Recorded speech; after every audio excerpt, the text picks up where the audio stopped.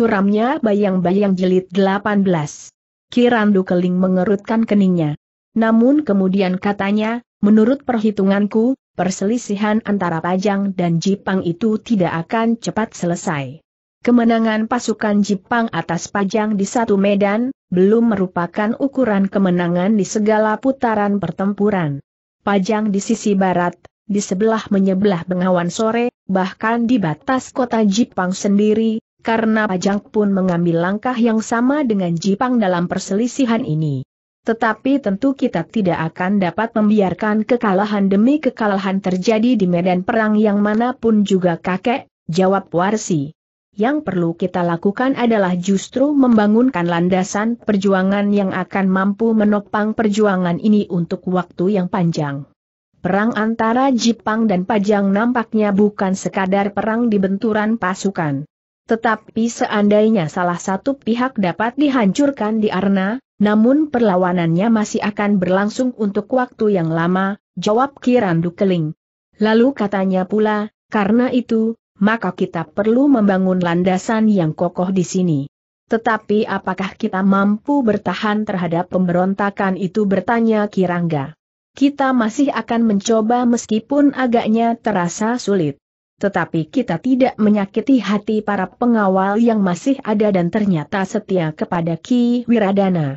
Jika perlu mereka akan kita bawa keluar, tetapi tidak kepajang.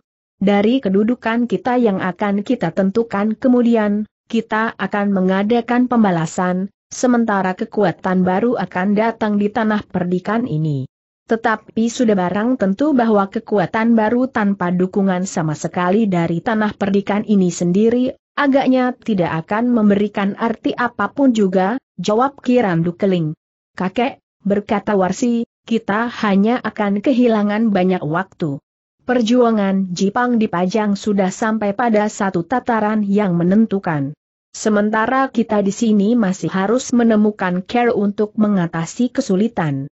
Sementara kita berpikir, biarlah kita memberikan kekuatan baru kepada Jepang, sehingga akan memberikan keuntungan pula bagi para pengawal, karena mereka akan mendapatkan pengalaman yang berharga. Tetapi agak yakin Randu Keling masih tetap pada pendiriannya. Karena itu, maka katanya, aku adalah salah seorang pendukung tegaknya Jepang. Aku mempunyai hubungan yang khusus dengan Patih Mantahun dan Arya Jepang sendiri.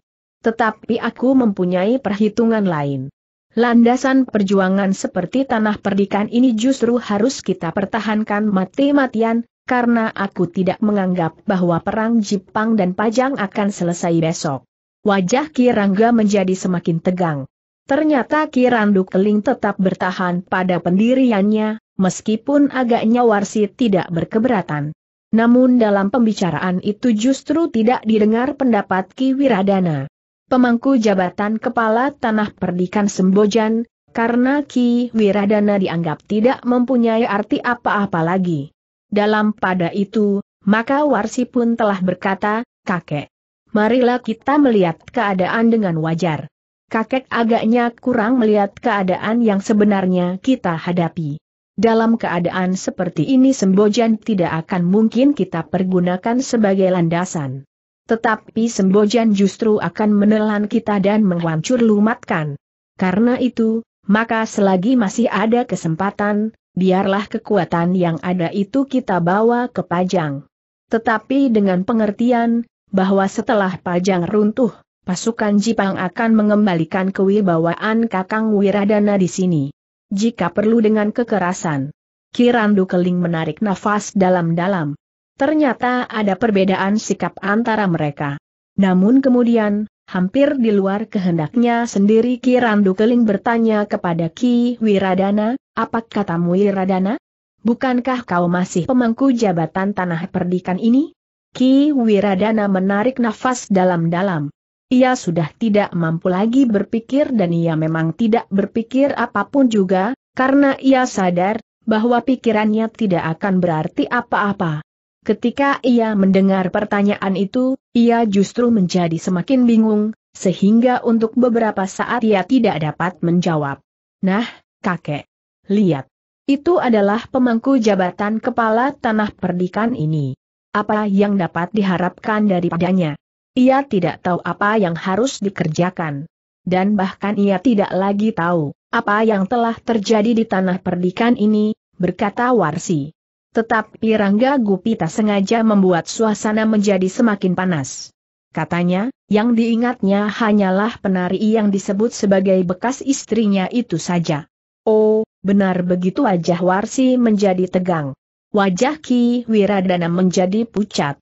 Tetapi ia berusaha menjawab, aku sedang mencoba untuk melihat keadaan tanah perdikan ini dalam keseluruhan. Bagus, geram Warsi. Jadi kau masih juga berpikir tentang tanah perdikanmu.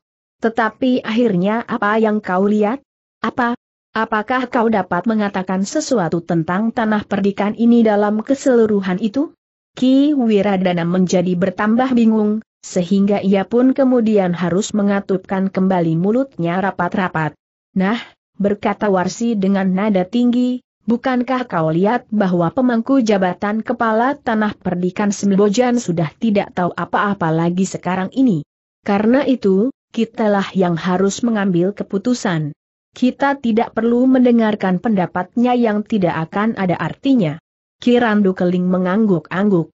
Namun kemudian ia masih juga bergumam, Warsi, bagaimanapun juga ia adalah pemangku jabatan kepala tanah perdikan ini dan sekaligus suamimu.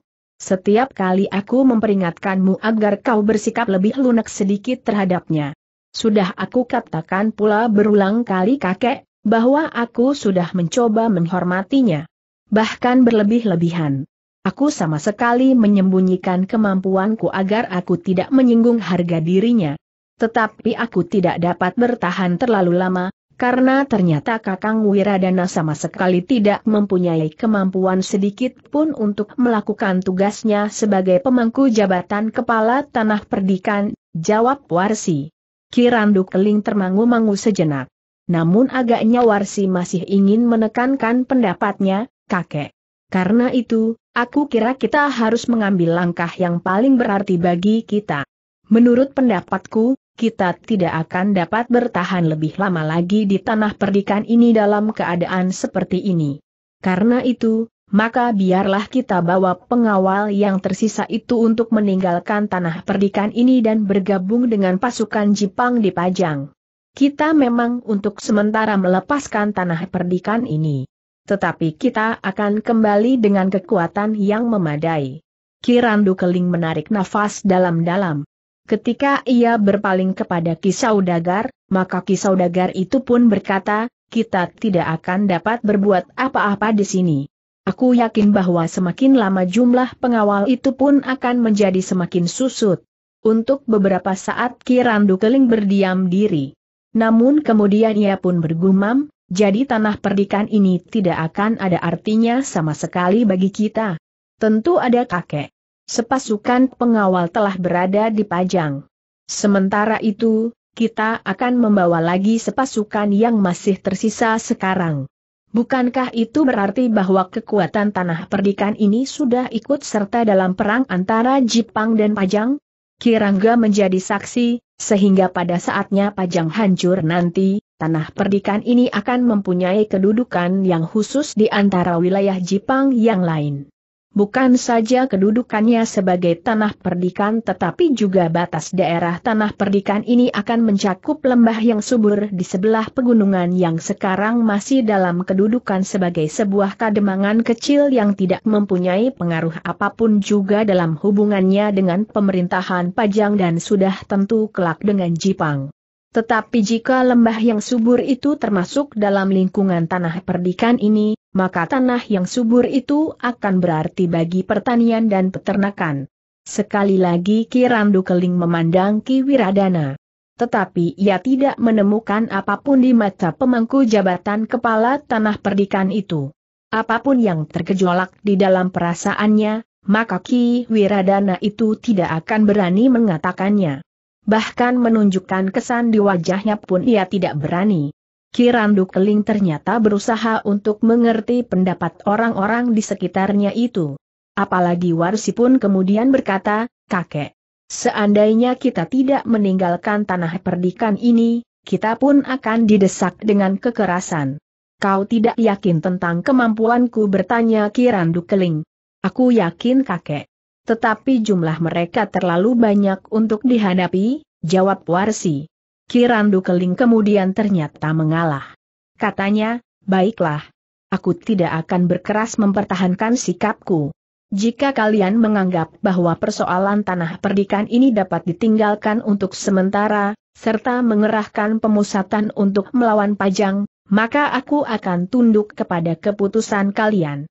Tetapi ingat, medan yang dihadapi oleh Jipang tidak hanya Pajang di sisi sebelah timur. Perang antara Jipang dan Pajang tidak tergantung kepada medan yang kecil itu. Bahkan seandainya Jipang mampu memasuki Pajang dan mendudukinya, belum tentu bahwa Jipang sudah memenangkan pertempuran. Meskipun pasukan Pajang di sebelah Bengawan sore justru akan memecahkan pertahanan Jipang dan memasuki Jipang pula bersama pasukan dari Demak yang dapat dipengaruhi oleh Hadiwijaya. Kiranggalah yang menjawab, jangan mencemaskan pasukan Jipang di tepi Bengawan sore. Pasukan itu dipimpin sendiri oleh Kanjeng Adipati Arya Penangsang. Tidak ada kekuatan yang dapat mencegah kekuatan Adipati Pajang. Sifat kandelnya, kudanya yang disebut gagak kerimang dan pusakanya setan kober akan mampu menghancurkan seluruh kekuatan Pajang di sebelah Bengawan sore. Mungkin perhitunganmu benar, berkata Kirandu Keling. Tetapi di dalam perang kita juga harus memperhitungkan kekuatan lawan. Arya Penangsang dan Patih Mantaun memang memiliki kemampuan yang seakan-akan tidak terbatas.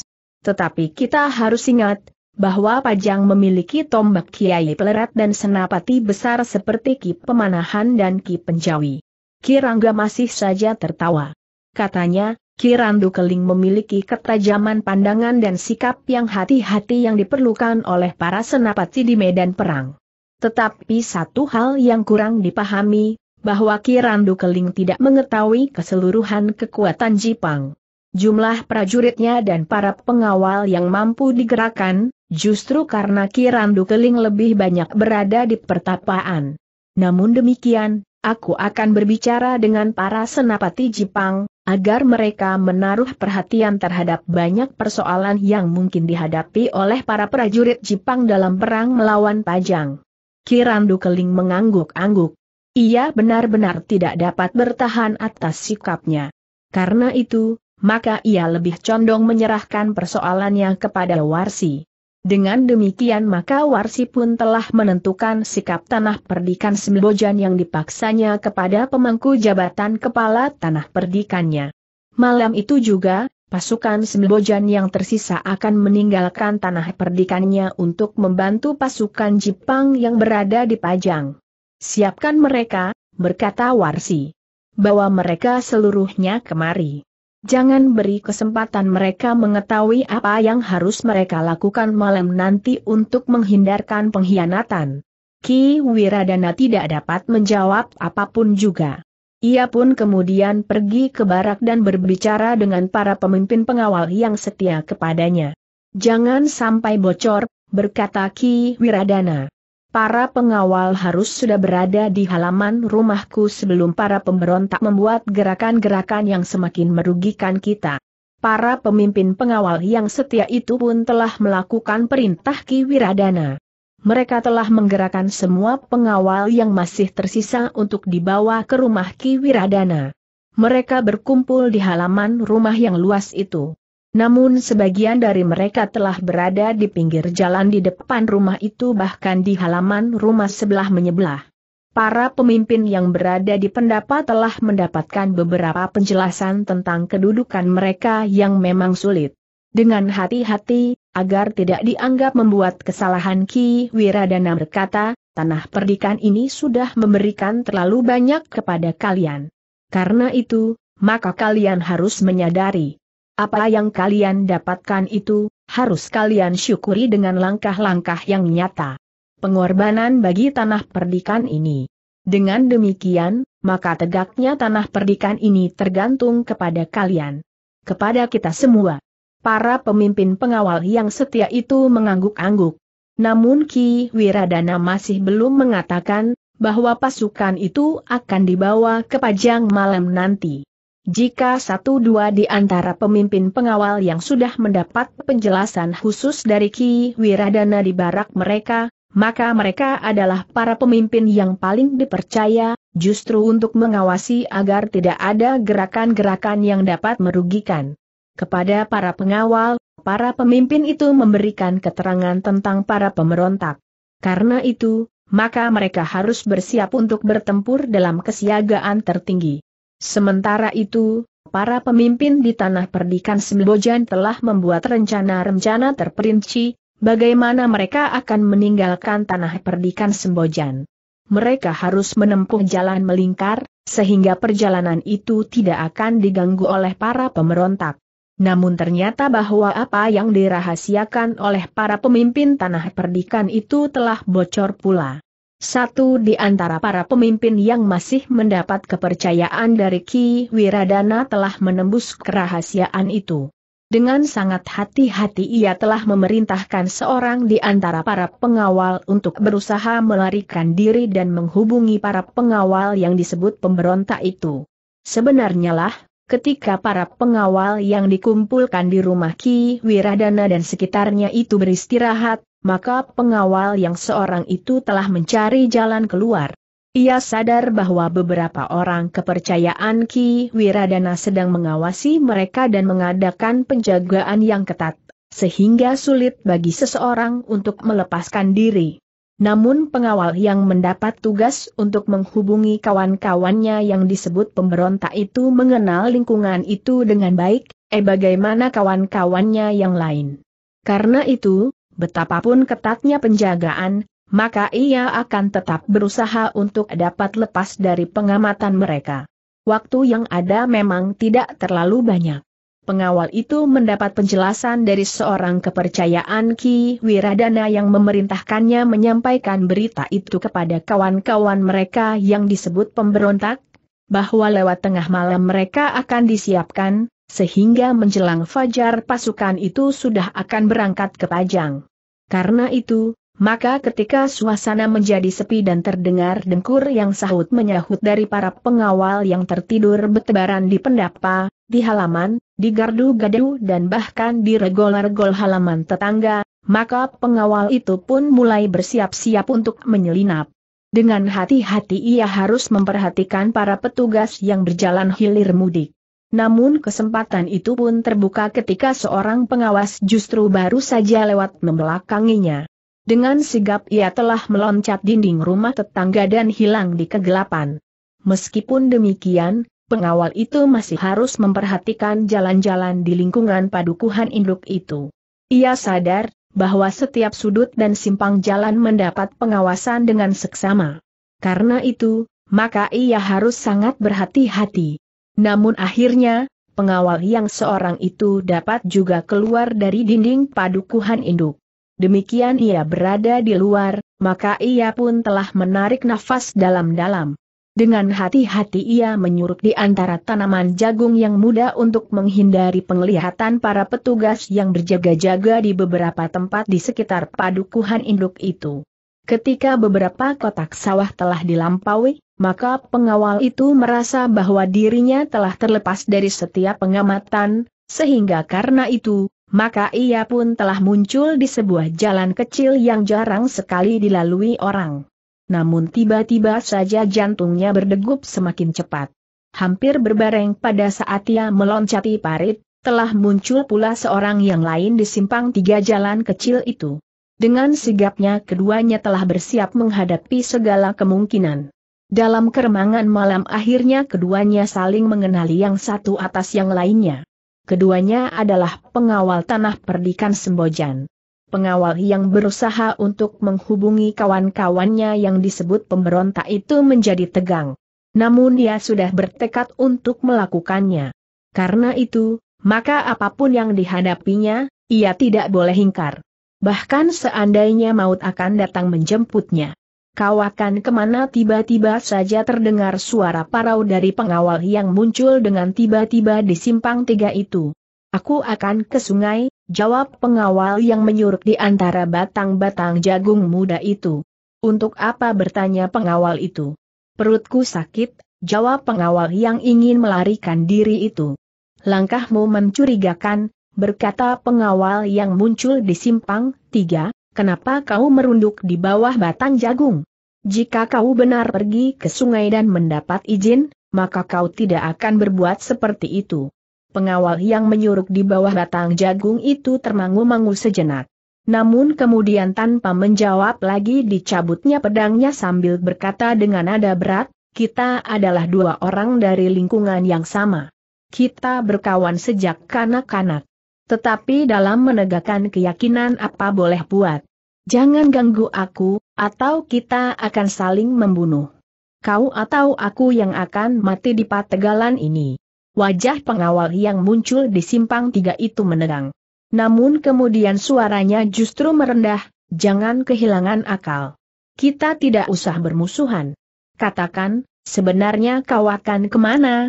Aku akan melepaskan diri dari lingkungan orang-orang gila di sekitar Ki Wiradana. Karena itu pergilah. Beri kesempatan aku lari melintasi bulak ini, sehingga aku tidak akan dapat dikejar lagi. Sebenarnya lah aku masih segan untuk saling membunuh dengan kawan-kawan bermain semasa kanak-kanak. Pengawal yang muncul di simpang tiga itu termangu-mangu. Namun kemudian katanya, kita tidak akan saling membunuh.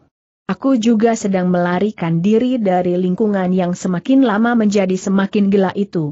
Aku mendengar di luar niatku untuk mendengarkan, dua orang kepercayaan Wiradana berbicara tentang keberangkatan para pengawal ke Pajang. Apakah kau bersungguh-sungguh bertanya pengawal yang menyuruk di kebun jagung itu? Aku bersungguh-sungguh. Aku tidak mau diumpankan di Pajang. Jika aku harus mati, biarlah aku mati di tanah perdikan kelahiran ini, dan bagi tanah kelahiran ini pula, berkata pengawal yang muncul di simpang tiga itu. Pengawal yang menyuruk di tanaman jagung itu kemudian berkata, jika benar katamu, maka marilah. Waktu kita tinggal sedikit. Kenapa? Bukankah kita sudah bebas? Kita tidak perlu tergesa-gesa. Biar saja Ki Wiradana pergi ke Pajang jawab pengawal yang berada di simpang tiga. Kita sampaikan persoalan ini kepada Ki Bekel yang dianggap memberontak itu, jawab yang lain mungkin ada sesuatu yang dapat mereka lakukan. Kedua pengawal itu pun akhirnya sepakat untuk berlari-lari kecil menuju ke tempat kawan-kawan mereka yang dianggap memberontak. Kedatangan kedua orang itu memang mengejutkan para penjaga. Dengan tombak merunduk, orang-orang yang berlari-lari kecil itu telah dihentikan. Aku membawa kabar penting, berkata salah seorang dari kedua pengawal itu. Beri kesempatan aku bertemu dengan salah seorang di antara ketiga orang bekel itu atau jika mungkin aku ingin bertemu dengan penari itu. Nyi maksudmu bertanya penjaga yang menghentikan kedua pengawal itu. Ya, aku ingin menyampaikan berita yang barangkali penting, jawab pengawal itu. Para penjaga itu pun tidak merasa keberatan. Apalagi mereka hanya berdua. Karena itu, maka keduanya pun telah dibawa ke tempat Iswari dan kakeknya yang tinggal di rumah Ki Bekel. Tinggalkan senjatamu, minta pengawal yang membawa keduanya masuk ke ruang dalam. Iswari memang sudah tidur. Namun ia sama sekali tidak berkeberatan dibangunkan jika keadaan memang memerlukannya. Ada apa bertanya Iswari dan beberapa orang tua yang terbangun pula. Para pengawal itu tidak mau kehilangan waktu mereka pun segera menceritakan apa yang mereka ketahui tentang rencana Ki Wiradana untuk membawa pasukan pengawal yang tersisa ke Pajang. Bukankah pasukan itu tinggal beberapa kelompok kecil saja bertanya Iswari? Ya, dan beberapa kelompok itu akan menjadi umpan pula di medan perang yang garang di Pajang, desis Kiai Badra. Iswari menarik nafas dalam-dalam atas nama anak laki-lakinya serta kuasa pajang atas dirinya, maka ia merasa berkeberatan apabila para pengawal itu benar-benar akan dibawa ke pajang justru untuk memperkuat pasukan Jepang. Karena itu, maka katanya, kita akan mencegahnya. Kita akan menghancurkan orang-orang yang telah mengendalikan pemangku jabatan kepala tanah perdikan Semojan yang lemah itu.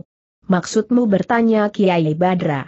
Kita tidak akan memberi kesempatan lagi kepada mereka, berkata Iswari dengan perasaan yang bergejolak. Kita tidak memang akan mencegahnya Iswari, berkata Kiai Badra. Tetapi sudah aku katakan, biarkan saja orang-orang dari bayangan kekuatan kalamerta itu bermain untuk beberapa saat lagi. Aku mengharap mereka akan datang pada kesempatan lain. Agaknya dengan seluruh kekuatan yang ada pada mereka, sehingga Ita tidak akan mencemaskan lagi di masa-masa mendatang. Kakek, jawab Iswari. Kita tidak boleh merendahkan kemampuan mereka. Jika kita memancing seluruh kekuatan kalamerta, apakah kita akan dapat melawannya? Tetapi jika apa yang ada ini kita binasakan, maka kekuatan kalamerta itu sudah jauh berkurang dan yang tersisa itu akan menjadi duri di dalam kehidupan tanah perdikan ini. Pada saat-saat yang lengah mereka akan memasuki tanah perdikan ini sebagaimana Nyiwiradana dan orang-orang yang ada di sekitarnya sekarang ini. Mungkin dengan Caroline tetapi mungkin mereka mempergunakan kekerasan justru pada saat-saat tanah perdikan ini sepi, sahut Kiai Badra. Lalu, karena itu, maka biarlah kita berusaha mencegah kelompok-kelompok yang akan dibawa ke Pajang itu, namun sekali lagi aku minta, jangan kita tumpas orang-orang yang mungkin akan dapat memancing kekuatan yang masih tersembunyi, karena aku yakin bahwa kekuatan Kalamerta yang terkenal itu tersebar sepeninggalan Kalamerta itu sendiri. Bahkan mungkin masih ada kekuatan yang sejajar dengan kalamerta itu sendiri yang akan dapat kita ungkit keluar dari sorangnya. Iswari tidak membantah. Namun ia memang harus berbuat cepat. Karena itu, maka ia pun minta para bekel yang dipanggilnya untuk menyiapkan para pengawal. Para bekel itu pun kemudian memanggil para pemimpin pengawal dan memerintahkan mereka untuk bersiap dalam waktu yang singkat. Namun dalam pada itu, di padukuhan induk telah terjadi sesuatu yang mengguncangkan. Ternyata bahwa kepergian dua orang pengawal itu diketahui oleh kelompok masing-masing.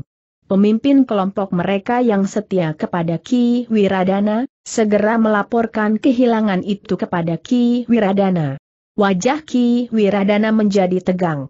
Untuk beberapa saat ia justru terdiam. Namun yang bergejolak di dalam dadanya ternyata tidak sebagaimana diduga oleh para pemimpin kelompok itu. Para pemimpin kelompok yang melaporkan kepadanya itu menganggap bahwa kemarahan yang menghentak di dada Ki Wiradana membuatnya tidak dapat bertindak dengan segera. Para pemimpin kelompok itu menganggap bahwa Ki Wiradana sedang berusaha menenangkan hatinya karena laporan yang mengejutkan itu. Namun sebenarnya Ki Wiradana telah dicengkam oleh kebimbangan. Ketika mereka mendengar bahwa ada dua orang pengawal yang hilang dari kelompok masing-masing, maka tiba-tiba saja Ki Wiradana merasa bersyukur, bahwa keberangkatan itu akan didengar oleh mereka yang disebut pemberontak, karena Ki Wiradana yakin bahwa orang-orang itu tentu akan pergi kepada orang-orang yang disebut pemberontak itu. Namun Ki Wiradana menjadi cemas juga, bahwa akhirnya ia juga yang akan menjadi sasaran umpatan dan makian dari orang-orang yang ada di sekitarnya itu. Namun Ki Wiradana tidak dapat berdiam diri dalam kebimbangannya. Ia memang harus mengambil sikap. Karena itu, maka ia pun telah menemui Ki Randu Keling. Seorang yang menurut pendapat Ki Wiradana adalah orang yang berpendirian paling lunak terhadapnya. Kirandu Keling mengerutkan keningnya. Dengan nada datar dan yang hanya didengar oleh dirinya sendiri, ia bergumam, aku sudah menduga bahwa rahasia ini tidak akan dapat dipertahankan dengan ketat. Menilik sikap orang-orang tanah perdikan ini sendiri. Namun Kirandu Keling tidak mengatakan kepada siapa pun juga. Juga tidak kepada Ki Wiradana. Tetapi seperti Ki Wiradana, maka ia pun merasa wajib untuk mengambil langkah-langkah. Karena itu, maka ia pun telah memanggil Warsi dan Rangga Gupita serta beberapa orang lain. Setan, geram Warsi. Siapa yang telah berkhianat? Atau barangkali kau sendiri kakang?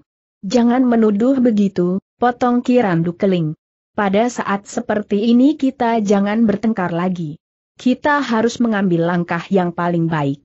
Aku memang tidak dapat percaya lagi kepada orang-orang tanah perdikan ini, berkata Kirangga. Mungkin di antara para pemimpin pengawal yang menjadi kepercayaan Ki Wiradana itulah yang berkhianat. Tetapi baiklah. Kita harus mengambil langkah-langkah. Apa yang harus kita lakukan bertanya Warsi. Siapkan pasukan, berkata Kirangga. Kita berangkat sekarang. Kita tidak menunggu fajar. Darah Ki Wiradana terasa mengalir semakin cepat. Tetapi ia tidak dapat berbuat apa-apa. Ketika Wiyarsi memerintahkan kepadanya, maka ia pun telah memanggil para pemimpin pengawal. Ki Wiradana seolah-olah tidak lebih dari seorang penghubung yang menyampaikan perintah yang dilimpahkannya kepada yang berkepentingan kepada para pemimpin pengawal Ki Wiradana memerintahkan sebagaimana didengarnya dari Warsi. Pasukan harus disiapkan dan berangkat segera tidak menunggu fajar. Para pemimpin itu pun dengan tergesa-gesa melakukan perintah itu. Para pengawal yang berserakan itu pun telah berkumpul kelompok demi kelompok. Hitung setiap orang di dalam kelompok, Pemimpin terpercaya dari para pengawal itu menjatuhkan perintah, jika ada yang kurang, maka para pemimpin kelompok harus melaporkannya. Ternyata memang hanya dua orang yang tidak ada di dalam kelompoknya sebagaimana sudah dilaporkan kepada Ki Wiradana. Namun yang dua orang itu akan dapat menimbulkan kemungkinan-kemungkinan yang jauh pada pasukannya yang akan berangkat ke Pajang itu. Dengan keterangan singkat, maka Ki Wiradana memberitahukan bahwa pada saat itu mereka akan berangkat menunaikan satu kewajiban yang sangat penting dan terhormat. Kita akan berjuang bersama-sama di samping para prajurit dari Jepang di Pajang. Bukankah hal itu akan merupakan satu kehormatan?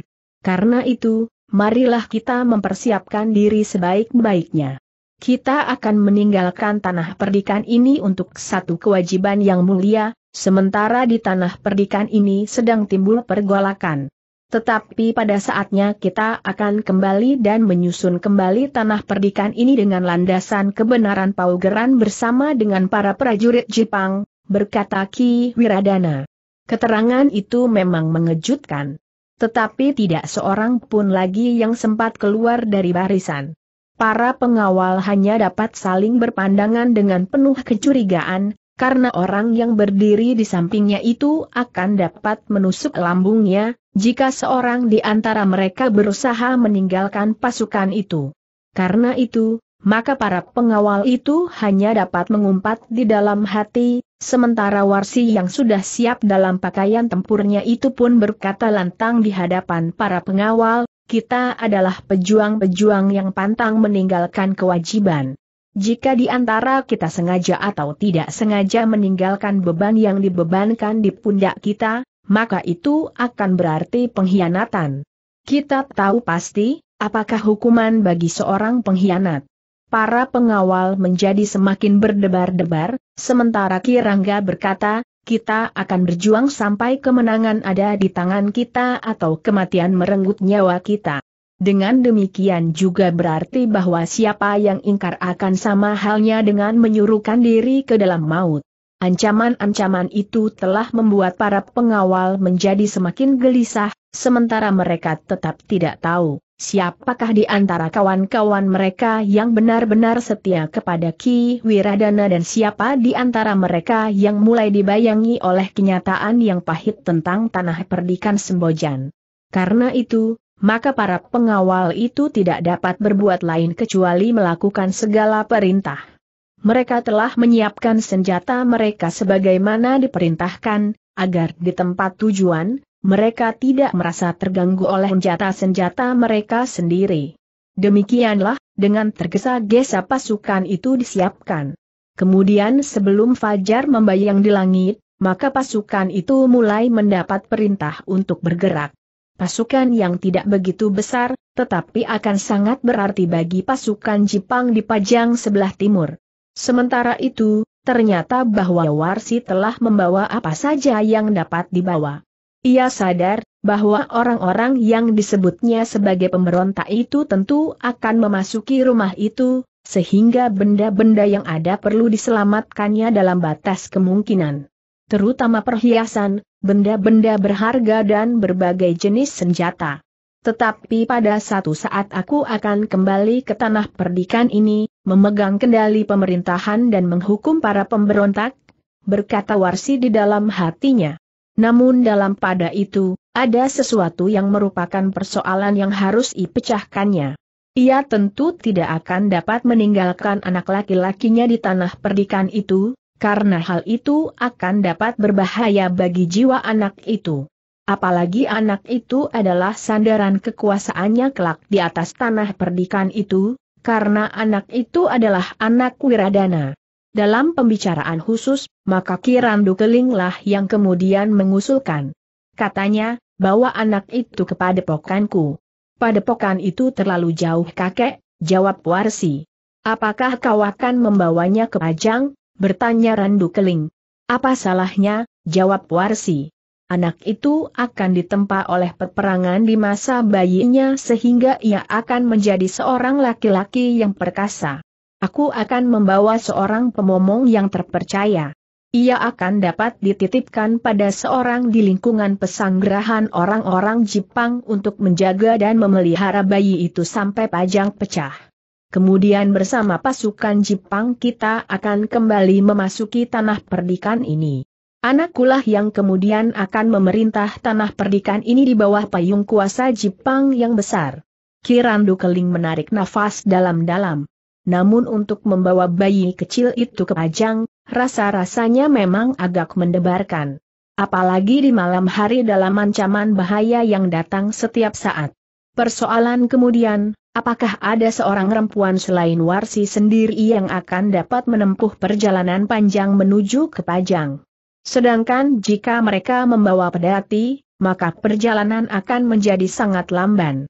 Namun Warsi berkeras untuk membawa anak laki-lakinya ke Pajang dan selanjutnya mengikutinya ke mana ia akan pergi, sampai saatnya Warsi akan memasuki tanah perdikan Sembojan dengan kekuatan yang besar. Kita membawa kuda, berkata Warsi. Jika perempuan yang tidak memiliki ketahanan wadak seperti aku itu tidak mampu lagi berjalan, maka ia akan naik ke atas punggung kuda. Jika ia tidak terbiasa, maka biarlah seorang pengawal menjaganya. Tidak ada orang yang dapat menahannya lagi. Meskipun pemomong anak warsi itu tidak ingin untuk ikut keluar dari tanah perdikan Sembojan, namun ia tidak dapat menolak. Ia harus ikut bersama Warsi dengan membawa anak laki-lakinya yang masih terlalu kecil. Demikianlah, maka dengan cepat Ki Wiradana telah menggerakkan para pengawal meninggalkan padukuhan induk. Dalam suasana yang bagaikan sedang berkabung mereka berbaris dan mengambil jalan melingkar. Di antara para pengawal yang berjalan kaki, maka dalam iring-iringan itu memang terdapat beberapa ekor kuda. Berapapun kuda yang ada pada mereka, telah mereka bawa serta. Orang-orang yang kelelahan akan dapat berganti-ganti naik ke atas punggung-punggung kuda itu. Sementara itu, Ki Wiradana pun telah memerintahkan para pengawal untuk bersiap menghadapi segala kemungkinan yang dapat terjadi di sepanjang jalan. Mungkin mereka harus bertempur dan menghindar.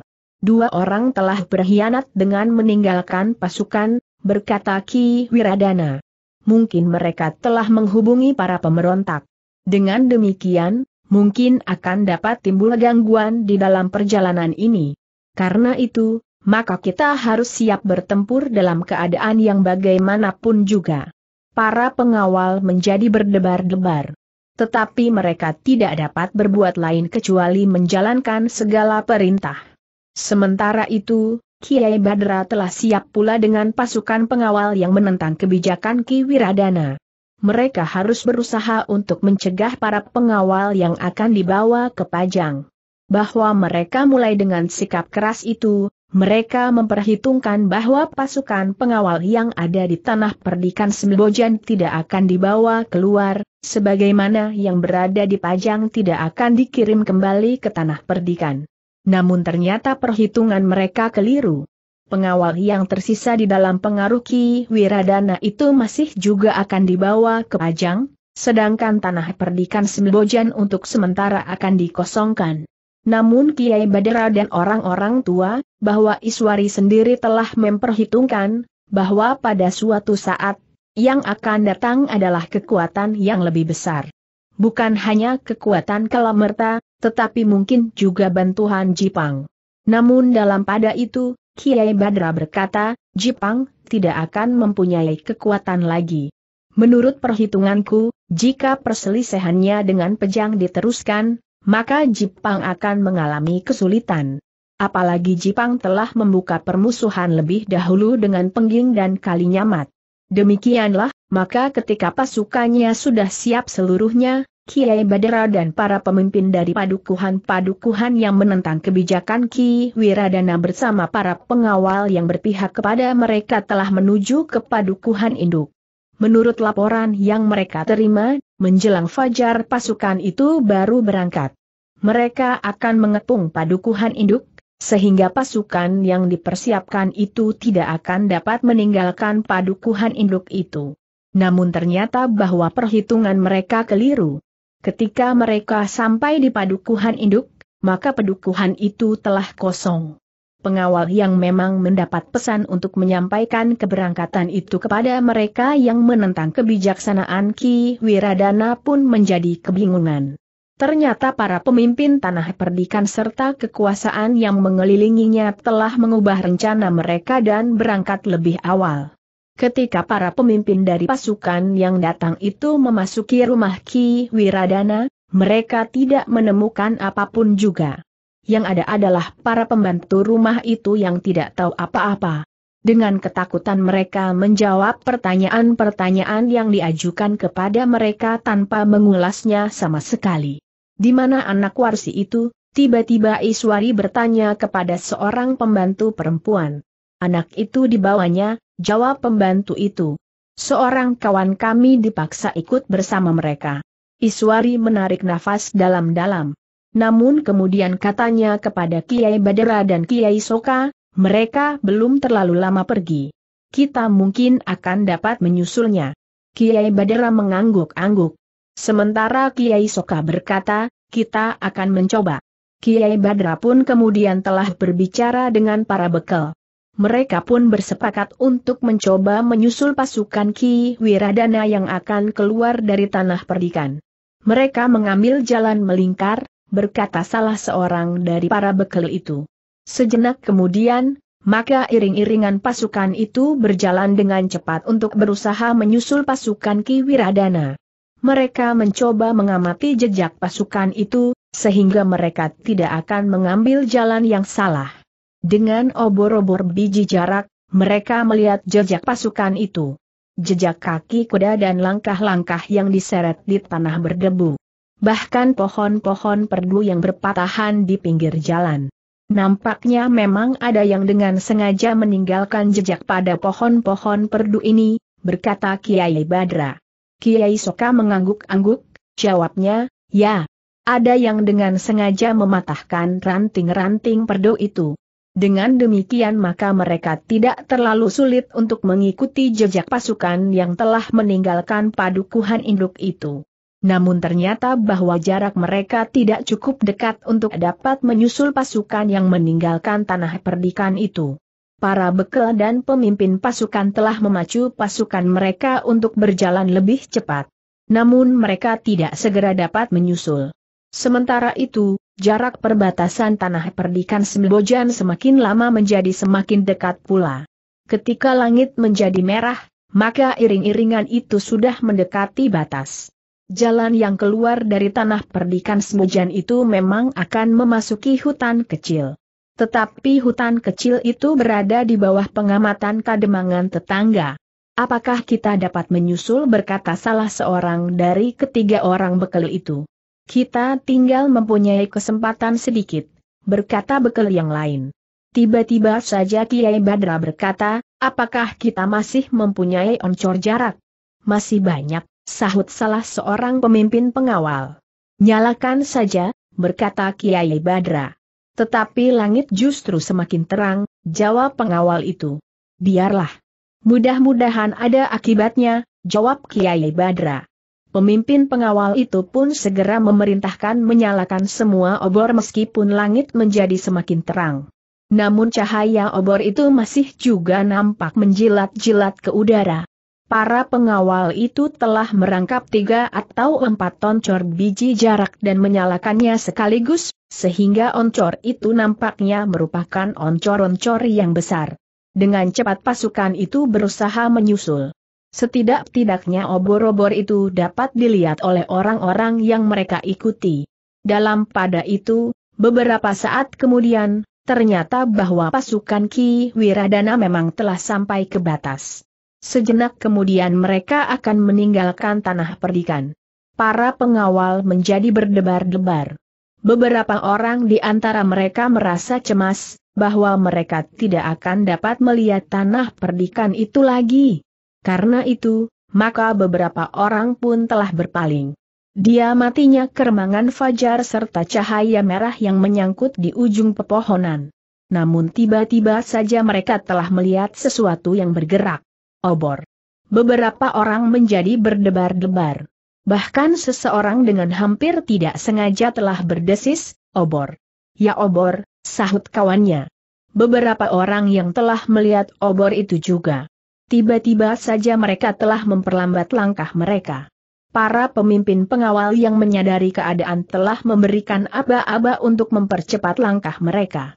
Namun salah seorang di antara para pemimpin itu tiba-tiba berteriak, kita bersiap untuk bertempur. Pasukan benar-benar telah menyusul kita. Perintah-perintah yang simpang siur itu terdengar oleh Ki Wiradana dan orang-orang yang membayanginya. Karena itu, maka bersama Ki Rangga, maka Ki Wiradana pun telah menelusuri pasukannya sampai kepada mereka yang telah melihat obor itu. Apa yang terjadi bertanya Ki Wiradana. Obor, jawab salah seorang pemimpin. Kirangga menjadi tegang. Dengan nada tinggi ia berkata, kita percepat langkah kita. Mereka tidak akan membuka pertempuran di daerah orang lain. Bukankah kita sedang melintasi perbatasan? Belum tentu, jawab salah seorang pemimpin pengawal, mereka adalah orang-orang gila. Mereka tidak akan berpikir sekian jauhnya. Karena itu, tidak ada Caroline yang harus kita lakukan kecuali bertempur sampai orang yang terakhir. Jangan terlalu memanjakan perasaanmu, berkata Kirangga. Kita justru harus mempercepat perjalanan ini. Sementara itu, oncor-oncor biji jarak itu pun menjadi semakin dekat. Ketika mereka berbelok sekali di sela-sela batang perdu yang tumbuh di pinggir jalan bulak, maka pasukan itu menjadi semakin jelas. Apalagi langit menjadi semakin terang. Namun yang terdengar adalah perintah Ki Wiradana, kita mempercepat perjalanan ini. Iring-iringan itu agaknya memang ingin mempercepat langkah mereka. Tetapi terasa sesuatu telah membenani mereka, sehingga laju pasukan itu justru terasa tersendat-sendat. Sementara itu pasukan yang menyusul itu justru berjalan semakin cepat. Seorang di antara para bekal itu memang menjadi ragu-ragu. Dengan bimbang ia berkata, apakah kita akan membuka pertempuran di hutan milik tetangga? Kita akan memberikan penjelasan kelak, berkata bekal yang lain. Karena itu, maka mereka sama sekali tidak merasa terpotong oleh perbatasan. Asal iring-iringan itu belum keluar dari hutan kecil itu, maka para bekal itu masih merasa akan dapat menjelaskan persoalannya kepada kademangan tetangganya. Di depan mereka Ki Wiradana justru telah membentak-bentak untuk mempercepat perjalanan pasukannya. Namun beberapa orang di antara mereka justru telah mencabut senjata. Seorang pemimpin masih juga berkata, kita harus bersiap sepenuhnya, sementara itu Ki Rangga pun telah berteriak, jangan menjadi pengecut. Jika mereka memang menyerang, kita akan menghancurkan mereka. Tetapi untuk kepentingan yang lebih besar, kita akan pergi ke Pajang. Karena itu, jangan hiraukan gangguan-gangguan kecil yang tidak berarti itu. Pasukan itu memang berjalan lebih cepat. Tetapi pasukan yang menyusul itu pun justru telah berlari-lari kecil sehingga jarak antara mereka pun menjadi semakin pendek. Seperti dikatakan oleh salah seorang pemimpin pengawal, bahwa pasukan yang menyusul itu sama sekali tidak menghiraukan perbatasan. Meskipun pasukan Ki Wiradana seluruhnya telah memasuki hutan kecil di luar batas tanah perdikan Sembojan, namun yang menyusul itu telah memasuki hutan itu pula. Jangan biarkan mereka menerkam dari belakang, tiba-tiba pemimpin pengawal yang telah bersiap-siap itu berteriak, aku sudah mengatakan, bahwa mereka akan menyergap kita. Jangan menjadi gila, Kirangga telah berteriak lebih keras, tinggalkan mereka. Tetapi pemimpin pengawal itu menjadi ragu-ragu. Katanya kemudian, silakan meninggalkan tempat ini. Aku dan kelompokku akan menghambat mereka. Tidak ada pilihan untuk menghadapi mereka kecuali dengan bertempur. Tidak. Kau dengar perintahku, geram Kirangga. Pemimpin pengawal itu menjadi tegang. Tetapi ia tidak dapat menolak perintah Kirangga, sehingga karena itu, maka ia pun telah melanjutkan perjalanan di belakang pasukan yang telah berjalan beberapa langkah lanjut. Cepat, teriak Kirangga itu. Namun yang mengejar mereka pun semakin cepat pula. Sementara Kirangga bergeser ke tengah-tengah barisan yang tergesa-gesa, maka pasukan yang mengejarnya menjadi semakin dekat. Ketika pasukan itu memasuki hutan, maka obor-obor telah dimatikan. Namun langit sudah menjadi terang. Meskipun demikian di dalam hutan masih terasa selubung kelam karena dedaunan yang rimbun dan rapat saling berhimpitan.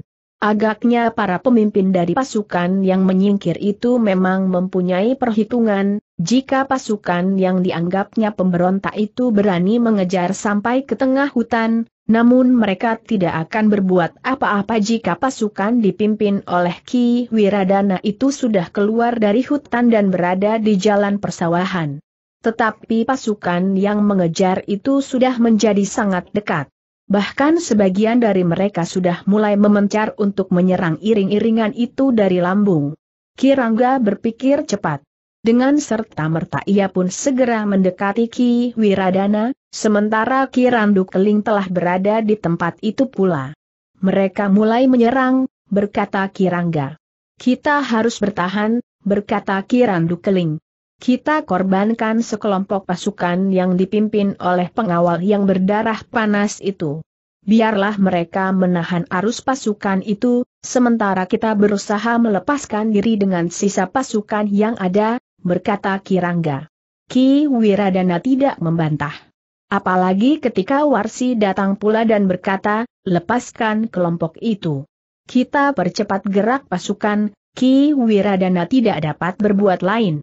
Namun Kirandu Kelinglah yang menyahut, tidak mungkin hanya satu kelompok. Tentu tidak akan berarti apa-apa. Setidak-tidaknya dua kelompok. Baik. Lepaskan dua kelompok pasukan. Yang lain akan meninggalkan Arna dengan cepat dan keluar dari hutan kecil ini, sahut Warsi. Demikianlah maka Ki Wiradana pun telah menjatuhkan perintah kepada pemimpin pengawal yang sudah siap dengan senjata di tangan bawa dua kelompok pasukan. Cegah mereka untuk menyusul kami. Kemudian kalian harus melepaskan diri kembali kepada induk pasukan jika kami sudah berada di luar hutan karena mereka tidak akan bertempur di luar hutan sehingga akan dapat menimbulkan persoalan dengan kademangan tetangga, berkata Ki Wiradana kepada pemimpin pasukan pengawal yang telah siap dengan senjata di tangan.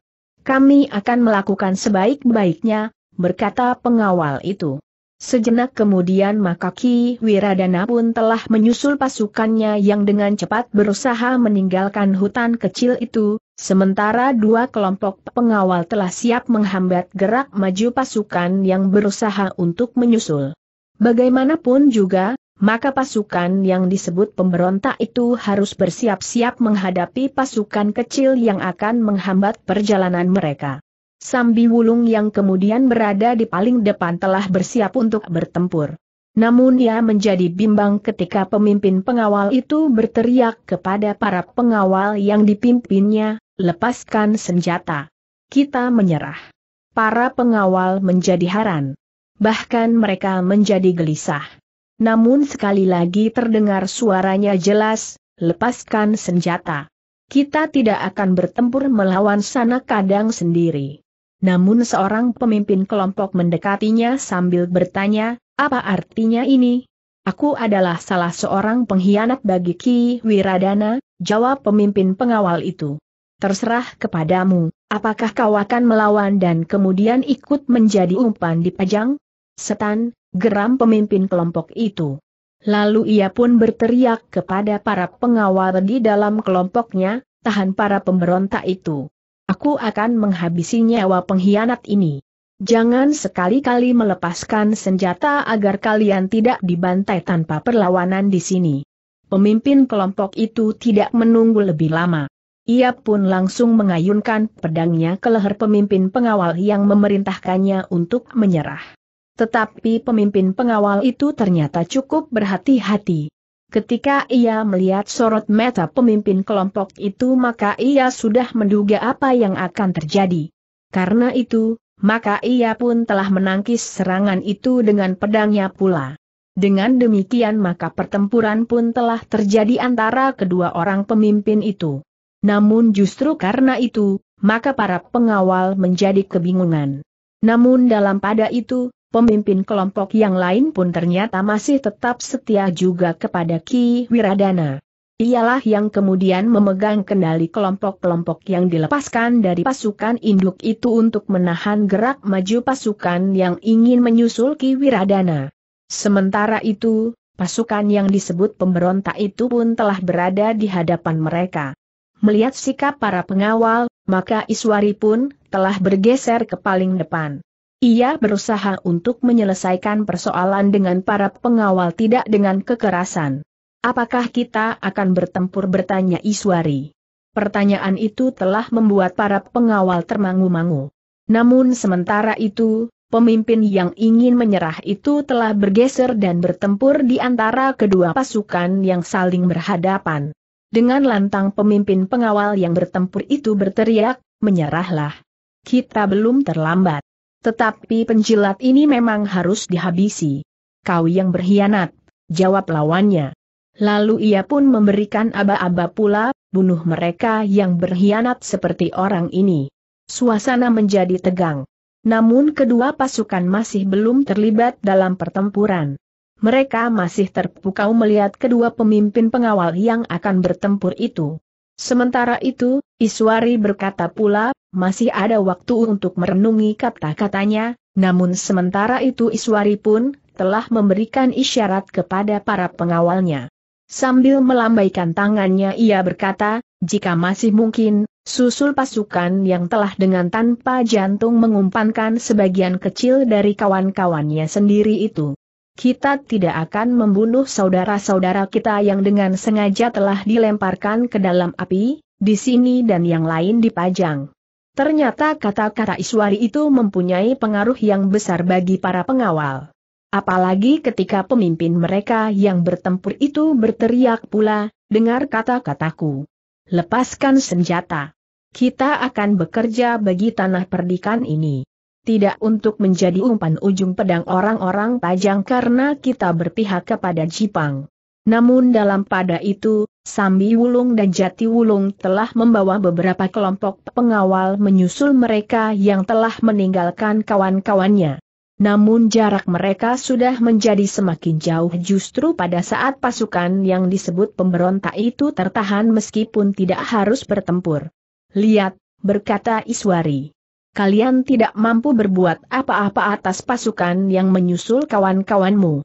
Jika kalian bergerak, maka pasukan yang tinggal ini pun akan bergerak. Sia-sialah usaha kalian untuk menghambat perjalanan kami karena jumlah kalian yang kurang memadai. Karena itu, pertimbangkan untuk menyerah. Kalian hanya mempunyai dua pilihan. Menyerah dan bekerja bersama kami membangun tanah perdikan ini, atau mati. Jika tidak mati di sini, maka kalian akan mati di Pajang, justru anak keluarga kalian tidak akan sempat melihat di mana kubur kalian. Atau barangkali, karena kalian hanya anak-anak tanah perdikan Sembojan, maka mayat kalian tidak akan ada yang menguburkan. Persetan, sahut pemimpin kelompok yang sedang bertempur, jangan dengarkan. Justru dengarkan kata-katanya, tiba-tiba saja seorang di antara para pengawal itu berteriak. Suaranya seakan-akan telah meledakkan isi hutan karena hentakan-hentakan perasaan yang untuk beberapa lama dibenamkannya dalam-dalam di dalam hatinya, kita harus mendengarkan suaranya. Aku tidak mau dibawa ke Pajang. Aku ingin berjuang untuk tanah perdikan ini. Pengkhianat, geram pemimpin kelompok yang seorang lagi. Dengan geram ia telah mengayunkan pedangnya menebas ke arah lambung. Namun tiba-tiba saja seorang kawannya telah mendorong pengawal yang hampir saja ditembus oleh ujung pedang itu. Bahkan tiba-tiba pula seorang yang lain dengan serta-merta telah berteriak pula, kita akan menyerah, pemimpin kelompok itu tidak sempat menyerang lagi. Di luar dugaan bahwa sebuah pisau belati telah terhunjam di punggungnya. Seorang anak yang masih sangat muda berkata, aku tidak mau mati sekarang atau besok dipajang. Pemimpin kelompok itu terkejut. Tetapi luka itu terlalu dalam. Untuk sesaat ia masih sempat memandangi anak yang masih terlalu muda itu dengan sorot mata penuh dendam dan kebencian. Yang terdengar adalah desis mulutnya, pengkhianat. Namun pemimpin kelompok itu pun kemudian telah jatuh terjerembab. Ia telah terbunuh oleh anak buahnya sendiri yang masih sangat muda. Ketegangan menjadi semakin mencengkam para pengawal. Ada di antara mereka yang masih merasa setia kepada Ki Wiradana. Tetapi ternyata banyak di antara para pengawal itu yang kemudian telah menyatakan niatnya yang sebenarnya. Kami menyerah, berkata seorang pengawal. Tetapi kami tidak dapat melepaskan senjata kami, karena mungkin kawan kami yang berdiri di sebelah menyebelah kami akan menusuk sebagaimana dilakukan oleh pemimpin kelompok itu. Untunglah bahwa ia tidak sempat melakukan pembunuhan itu dan harus menebus dengan nyawanya. Terima kasih, berkata Iswari. Marilah. Siapa yang ingin bergabung dengan kami, bergeserlah ke kanan. Dengan demikian, maka kita akan segera menjadi jelas. Dengan serta-merta, sebagian besar dari para pengawal itu telah bergeser ke kanan. Beberapa orang yang semula masih tinggal, namun mereka tidak ingin menjadi sasaran dan akan dibantai beramai-ramai. Maka mereka pun telah bergeser pula ke kanan seperti yang lain. Terima kasih, terima kasih, desis Iswari. Tetapi ia masih juga berkata, namun aku mengerti, bahwa ada di antara kalian yang memenuhinya karena merasa terpaksa. Karena merasa tidak ada lagi kawan untuk bertahan pada pendiriannya sebagai penjilat tetapi kita akan melihat bersama-sama, apakah yang akan kita lakukan kemudian. Dengan demikian maka lambat laun, mereka yang ragu-ragu itu pun akan yakin bahwa sikap kita adalah benar. Tidak seorang pun yang menjawab. Tetapi para pengawal itu pun mengerti pula bahwa ada di antara kawan-kawan mereka yang menyerah karena terpaksa. Namun dalam pada itu, pemimpin kelompok yang bertempur itu masih juga bertempur. Ketika pemimpin pengawal itu sekali lagi menawarkan agar pemimpin kelompok itu menyerah, maka justru pemimpin kelompok itu telah meloncat menyerang dengan cepat sekali. Pedangnya terjulur lurus mengarah ke jantung. Lawannya terkejut sekali. Justru pada saat ia menawarkan satu penyelesaian. Karena itu, maka ia menjadi agak terlambat bertindak.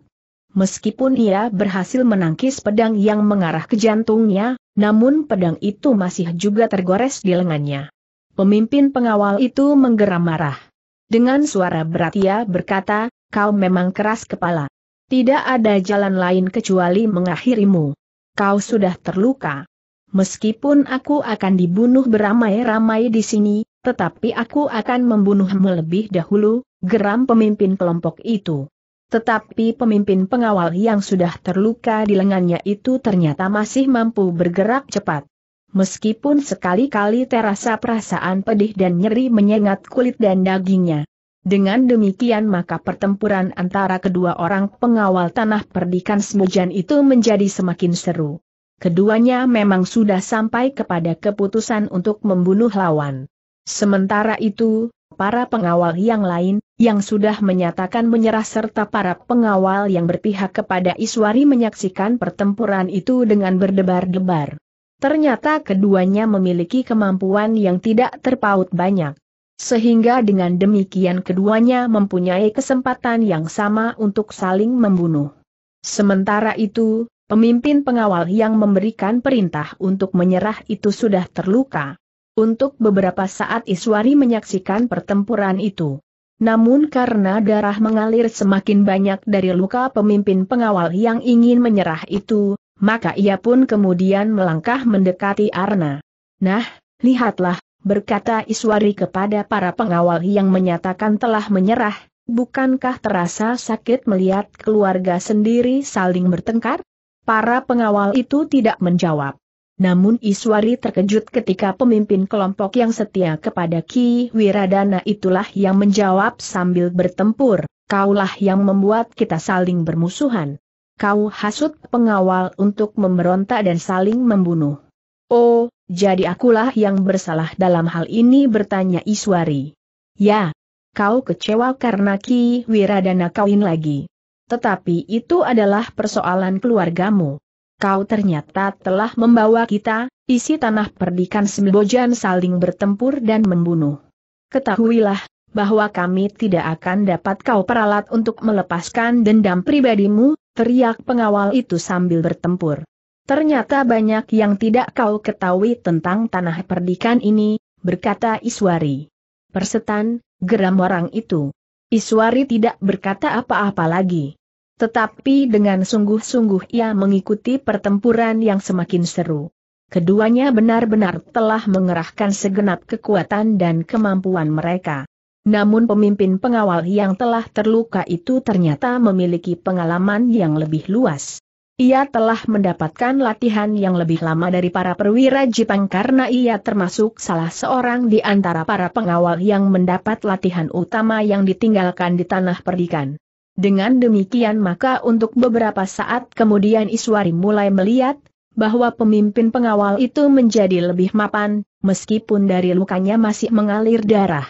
Pada saat yang demikian, tiba-tiba seorang pemimpin pengawal yang berpihak kepada Iswari telah mendekatinya sambil berkata, apakah kita harus membiarkannya berperang tanding? Sebelum Iswari menjawab, pemimpin kelompok yang setia kepada Ki Wiradana itu menjawab lantang, marilah jika kau akan mengeroyokku. Aku tidak berkeberatan. Aku memang sudah mengenal sifat-sifat kalian. Seorang pengkhianat tidak akan berpegang pada sifat seorang laki-laki. Pemimpin pengawal yang berpihak kepada Iswari itu menggeram. Namun Iswari mendahuluinya, jangan terpancing oleh perasaanmu.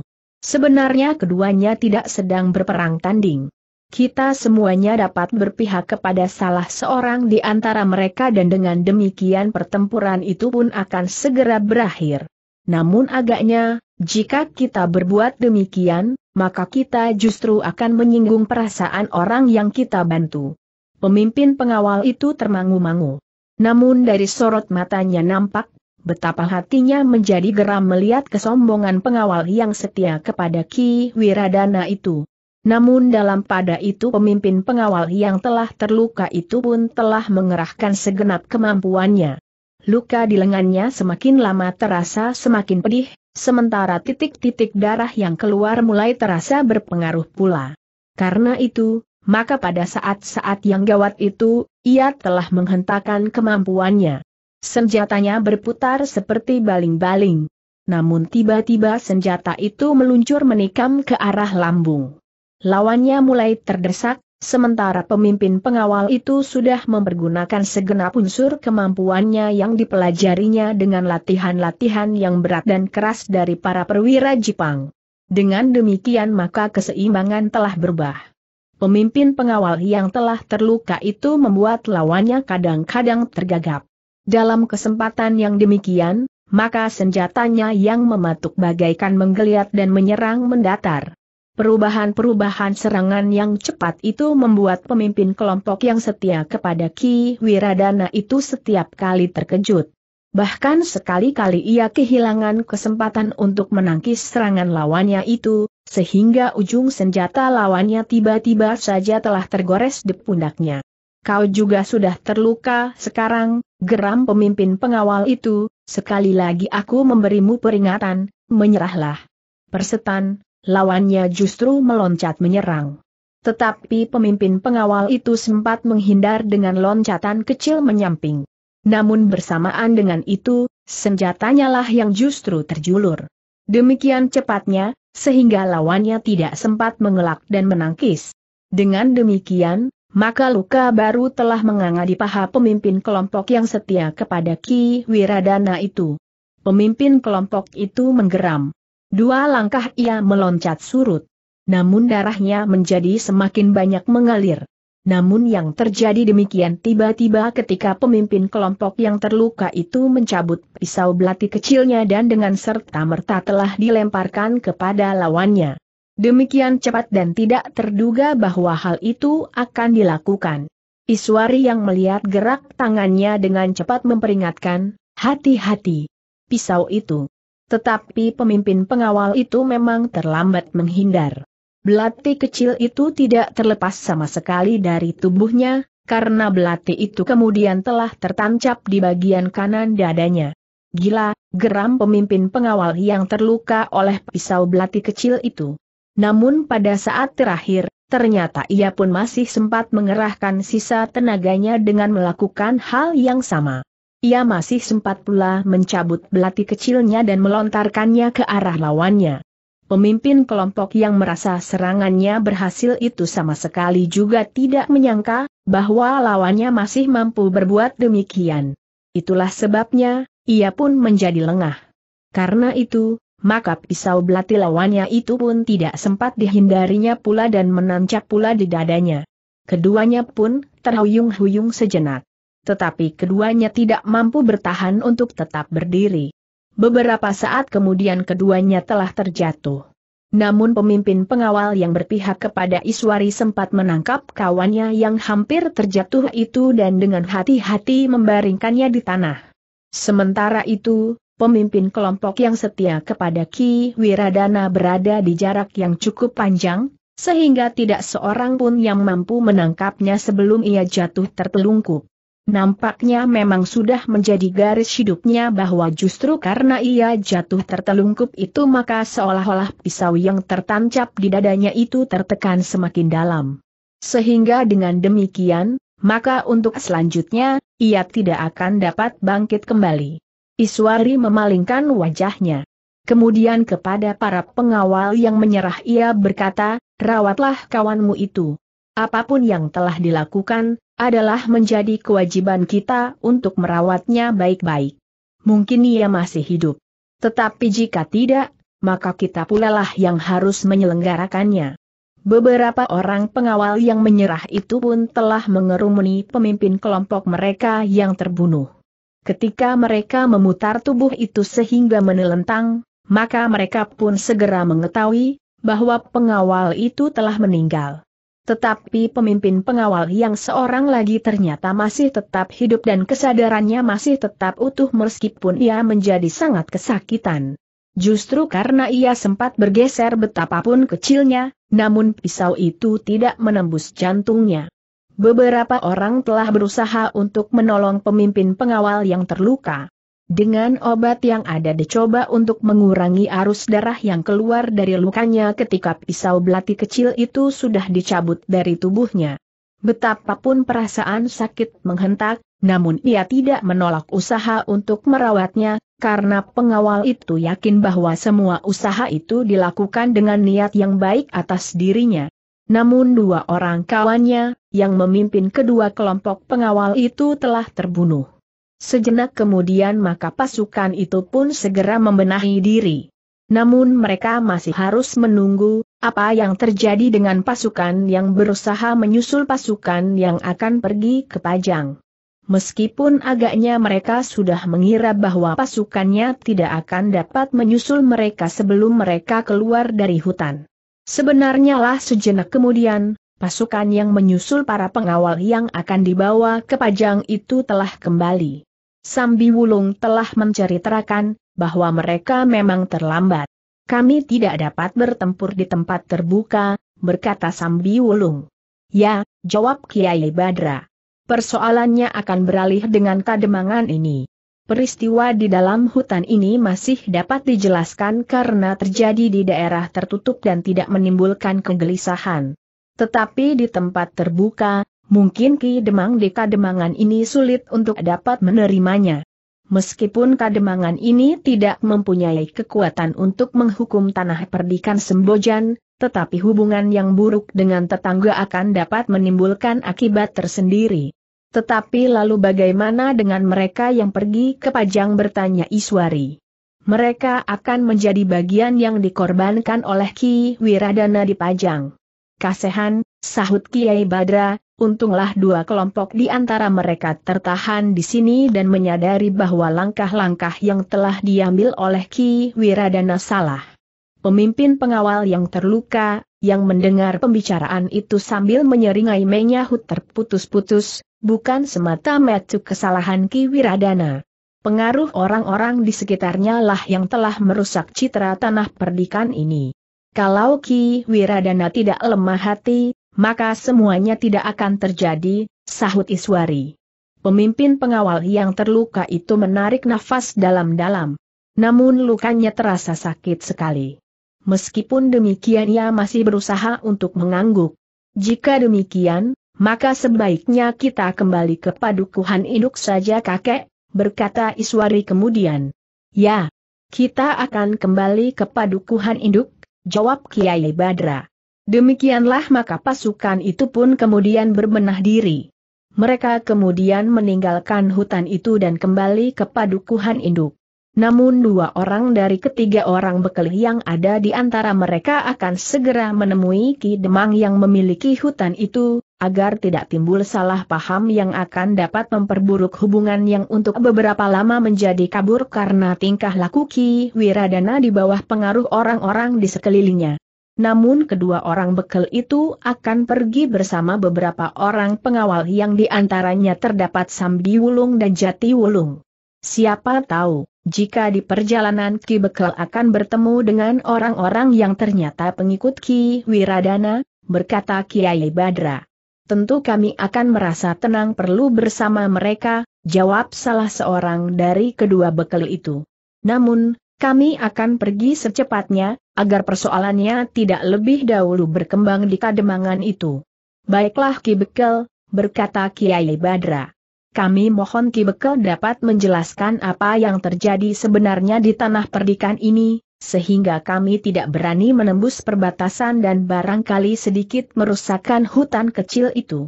Aku yakin bahwa mereka selalu mengikuti perkembangan tanah perdikan ini, meskipun mereka tidak berani mencampurinya, karena kademangan-kademangan di sekitar tanah perdikan ini sama sekali tidak memiliki kekuatan yang memadai.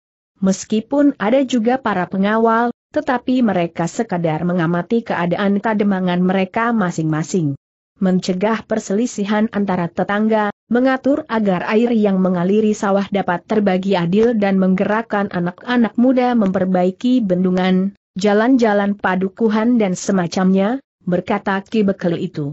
Demikianlah, maka Ki Bekel pun kemudian telah pergi ke kademangan sebelah untuk menjelaskan persoalan agar tidak menjadi semakin kabur. Ternyata Ki Demang berusaha untuk mengerti. Dengan nada dalam Ki Demang berkata, aku juga mendapat laporan, bahwa pasukan dari tanah perdikan Sembojan telah melintasi kademangan ini tanpa memberitahu lebih dahulu. Iring-iringan pasukan itu ternyata telah membuat rakyat kami menjadi gelisah. Hal yang serupa pernah terjadi beberapa waktu yang lalu. Bahkan dengan sangat mencolok, seakan-akan yang lewat adalah pasukan Kadipaten Pajang. Mereka memang akan pergi ke Pajang, berkata salah seorang dari kedua bekal yang datang ke Kademangan itu. Jika demikian, maka pendengaranku benar bahwa tanah perdikan Sembojan telah berpihak kepada Jepang, berkata Ki Demang. Bukan tanah perdikan Sembojan, jawab salah seorang dari kedua bekal itu. Tetapi pemangku jabatan kepala tanah perdikannya yang berada di bawah pengaruh beberapa orang termasuk istrinya. Ki Demang mengangguk-angguk. Katanya, kami memang mendengar dan mengetahui bahwa pergolakan telah terjadi di tanah perdikan Sembojan. Tetapi kami tidak berhak mencampurinya. Apalagi kami tidak memiliki sesuatu yang dapat kami pergunakan untuk terbuat apa pun juga. Bahkan kami menjadi sangat cemas, bahwa tanah perdikan di bawah pimpinan Ki Wiradana akan mengambil langkah-langkah yang garang terhadap tanah di sekitarnya. Kademangan demi kademangan akan diambilnya. Apalagi jika Jepang menang atas Pajang, maka kami sama sekali tidak akan mendapat perlindungan dari mana pun juga. Kami akan berusaha untuk menegakkan paugeran di tanah perdikan Sembojan, berkata salah seorang dari kedua orang bekal itu. Apakah landasanmu? Ki Wiradana lah yang berhak untuk mewarisi jabatan kepala tanah perdikan. Apalagi jika Jepang menang atas Pajang, bertanya Ki Demang. Bukan aku, berkata Ki Bekel, tetapi anak Ki Wiradana. Aku sedang berjuang untuk menegakkan jalur kekuasaan para pemimpin di tanah perdikan ini. Ki Wiradana sekarang mempunyai dua anak laki-laki yang masih kanak-kanak dari dua orang ibu. Yang sekarang berkuasa adalah Nyi Wiradana yang muda yang sudah barang tentu ingin menurunkan kuasa Ki Wiradana kepada anak laki-lakinya. Sementara itu istrinya yang tua, Iswari juga mempunyai anak laki-laki yang lahir lebih dahulu dari anak istri yang muda itu. Anak itulah yang seharusnya berhak atas tanah perdikan ini dan kami orang-orang tanah perdikan Sembojan mempunyai penilaian tersendiri atas Warsi, istri Ki Wiradana yang muda itu. Sehingga dengan demikian, maka dasar keturunan bagi kedua orang laki-laki itu pun telah menempatkan kita pada satu pilihan. Ki Bekel itu pun mengangguk-angguk. Namun katanya kemudian, kami memang tidak berhak mencampuri persoalan tanah perdikan. Apalagi persoalan keluarga Ki Wiradana. Namun kami juga tidak ingin kademangan kami menjadi korban pergolakan yang terjadi di tanah perdikan Semujan itu. Ki Demang, berkata Ki Bekel. Seharusnya Ki Demang tidak hanya sekadar mempercayakan diri kepada perlindungan Pajang yang sedang berperang dengan Jepang. Tetapi sebaiknya Ki Demang juga berjaga-jaga dengan menyusun kekuatan diri. Sudah tentu bukan maksudnya untuk menakut-nakuti pihak lain tetapi sekadar untuk melindungi rakyat Kademangan ini dari kemungkinan-kemungkinan buruk yang dapat terjadi. Ki Demang tentu sudah mengetahui sebagaimana Ki Demang katakan, bahwa keadaan di tanah perdikan Sembojan masih belum menentu. Jika kami memenangkan perjuangan kami, sehingga anak Iswari yang memegang kuasa di tanah perdikan dengan perwalian yang dipegang oleh ibunya, maka keadaan tanah perdikan akan menjadi baik juga dalam hubungannya dengan tetangga. Apalagi jika Pajang memenangkan perang. Tetapi jika yang berkuasa di tanah perdikan tetap Warsi yang dengan kedok kuasa Ki Wiradana memerintah tanah perdikan Sembojan, maka keadaannya tentu akan jauh berbeda, sebagaimana Ki Demang rasakan pada saat-saat terakhir ini. Ki Demang menarik nafas dalam-dalam. Namun ia pun kemudian mengangguk-angguk. Katanya, Aku dapat mengerti keterangan Ki Bekel. Tetapi jika kami ingin menyusun kekuatan, tidak ada orang yang akan mampu memberikan kepada anak-anak kami di Kademangan ini. Ki Demang akan dapat berhubungan dengan kami, berkata Ki Bekel. Kami akan mengusahakan sesuai dengan kemampuan yang ada pada kami. Beberapa orang pengawal kami memiliki kemampuan yang memadai meskipun tidak berlebihan. Namun mereka akan dapat membantu Ki Demang menyusun kekuatan anak-anak muda yang ada di Kademangan ini menjadi kekuatan pelindung yang dapat dipercaya. Dengan demikian, untuk waktu yang akan datang, mungkin kita akan bekerja bersama menghadapi kekuatan yang selama ini membayangi kekuasaan Ki Wiradana di tanah perdikan, sehingga Ki Wiradana sendiri sudah tidak mampu lagi berbuat apa-apa kecuali melakukan apa yang diinginkan oleh orang-orang itu. Terima kasih, berkata Ki Demang. Tetapi sudah tentu tidak pada saat sekarang ini. Bukankah di tanah perdikan Sembojan sedang terjadi pergolakan sehingga sulit bagi kami untuk membuka hubungan? Kami tidak dapat memilih dengan siapa kami harus berhubungan, karena di tanah perdikan ada dua pihak yang merasa masing-masing memiliki hak dan wewenang. Kami mengerti perasaan Ki Demang dan sikap dari Kademangan ini. Kalian tidak ingin terlibat dalam pertentangan yang terjadi di tanah perdikan Sembojan. Namun kami ingin memberitahukan, bahwa sekarang Ki Wiradana dan orang-orang yang mengelilinginya termasuk istrinya telah meninggalkan tanah perdikan. Bukankah kau sudah mendapat laporan bahwa pasukan tanah perdikan telah melewati kademanganmu tanpa memberitahukan lebih dahulu? Nah, itulah mereka yang sekarang menuju ke Pajang. Ki Demang menarik nafas dalam-dalam. Namun sambil mengangguk ia berkata, baiklah Ki Bekel. Kami akan tetap memelihara hubungan dengan tanah perdikan. Tetapi kami akan mengikuti perkembangan tanah perdikan itu lebih dahulu baru kami akan mengambil sikap yang paling tidak buat kepentingan kami.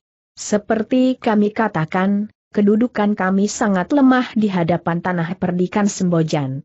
Karena itu jika tanah perdikan Sembojan, siapa pun yang berkuasa mengambil langkah-langkah yang keras terhadap kami maka kami tidak akan dapat berbuat apa-apa kecuali memohon perlindungan.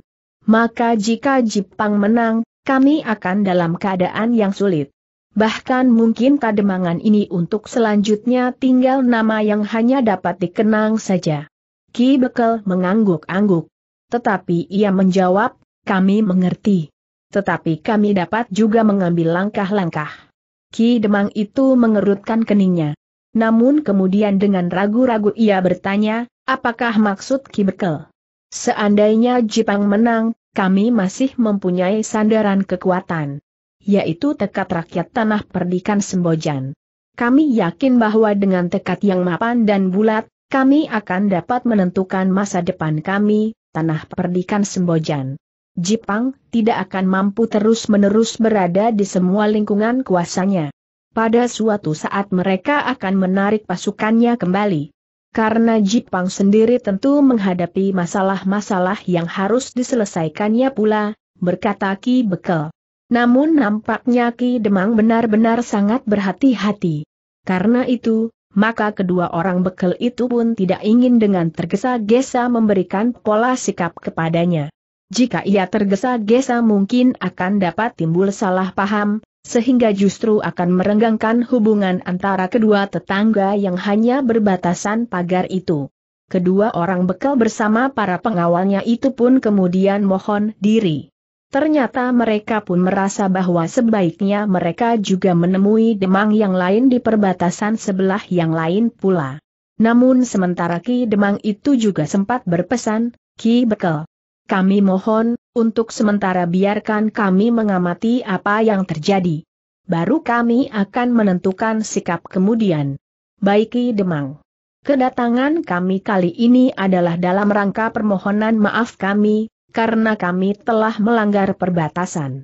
Sementara persoalan yang lain adalah sekadar persoalan yang akan dapat Ki Demang jadikan bahan pertimbangan, sahut Ki Bekel. Ki Demang mengangguk-angguk. Tetapi ia tidak menjawab. Demikianlah maka kedua orang Bekel dan para pengawalnya itu pun segera kembali ke tanah perdikan Sembojan tanah perdikan yang sedang mengalami pergolakan karena pemangku jabatan kepala tanah perdikannya yang sedang dibayangi oleh kekuasaan yang telah menjeratnya sehingga tidak mampu berbuat sesuatu atas landasan penalarannya sendiri sesuai dengan kepentingan tanah perdikan Sembojan. Namun ternyata bahwa kekuasaan yang memerintah dengan pengaruh yang buram itu telah terdesak keluar dari tanah perdikan Sembojan. Tetapi tidak seorang pun yang mengetahui dengan pasti, apakah kekuasaan itu akan kembali lagi atau tidak. Namun bagi mereka yang harus menggantikan tugas kepemimpinan di tanah perdikan Sembojan mempunyai perhitungan, justru mereka akan kembali dengan kekuatan yang lebih besar. Apakah mereka akan datang bersama kekuatan Kalamerta atau dengan kekuatan Jepang setelah mereka mengalahkan Pajang? Atas dasar perhitungan itulah maka mereka yang memegang pimpinan yang baru di tanah perdikan Sembojan berusaha mempersiapkan diri sebaik-baiknya. Iswari yang mewakili anaknya yang berhak menggantikan Ki Wiradana jika Ki Wiradana berhalangan, telah memanggil semua bekal dari padukuhan-padukuhan. Ternyata bahwa sebenarnya pendirian semua bekal tidak berbeda tetapi mereka tidak berani dan tidak mendapat kesempatan untuk menyatakannya. Sejak kekuasaan para bekal dikurangi, bahkan kemudian seolah-olah telah dihapuskan sama sekali, digantikan dengan kekuasaan para pemimpin pengawal, maka perasaan para bekel itu mulai goncang. Namun mereka tidak dapat berbuat sesuatu karena kekuatan para pengawal yang semakin besar justru di bawah pengaruh para perwira dari Jepang. Pada pertemuan itulah Iswari memberi kesempatan kepada mereka untuk menyatakan sikap mereka terhadap tanah perdikan Sembojan. Sikap para bekel itu bulat. Mereka harus menegakkan pemerintahan di tanah perdikan Sembojan sebagaimana seharusnya mereka harus menempatkan tanah perdikan Sembojan di bawah perlindungan Pajang. Bukan Jepang, sebagaimana telah berlangsung beberapa waktu sejak Pajang memegang kekuasaan yang dilimpahkan oleh Demak sebagai sebuah kadipaten sebagaimana Jepang. Terima kasih, berkata Iswari. Tetapi kebulatan tekad itu harus kita dukung dengan langkah-langkah yang nyata. Tentu, jawab seorang bekel. Meskipun aku terlambat selangkah dibandingkan dengan ketiga orang bekel yang telah menunjukkan sikapnya, namun aku akan berusaha melengkapi kekurangan itu sekuat tenaga. Kita akan bekerja keras, berkata Iswari. Menjelang dendam yang tentu membara di hati orang-orang yang sekarang meninggalkan tanah perdikan ini melanda kita semua, maka kita harus siap menghadapinya kita masih mempunyai anak-anak muda meskipun sudah banyak berkurang karena mereka harus menjadi umpan dipajang. Namun kita masih meyakini kita, siapa pun yang kita hadapi, karena di samping anak-anak muda dan remaja, kita semua akan berbuat apa saja. Yang sudah terjadi merupakan pelajaran pahit namun yang dapat kita jadikan satu pengalaman yang berharga, berkata salah seorang bekel, tetapi yang penting, bagaimana kita dapat menempatkan diri kita masing-masing. Aku mengerti, berkata Iswari. Semua harus kembali kepada wadah dan isinya masing-masing. Tetapi harus ada saling pengertian dengan para pengawal, berkata bekal yang lain. Jangan sampai terjadi, dahulu kita yang merasa dikurangi hak kita, sedangkan sekarang para pengawalah yang merasa diperlakukan demikian kita akan mengambil keseimbangan tugas dan kewajiban kita masing-masing, jawab Iswari. Semua akan dikembalikan kepada paugeran yang berlaku.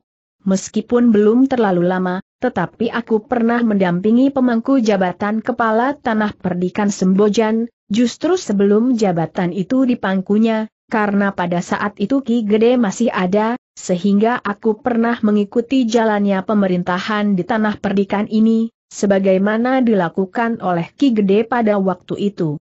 Sementara itu, para bebahu tentu masih memahami apa yang harus kita lakukan.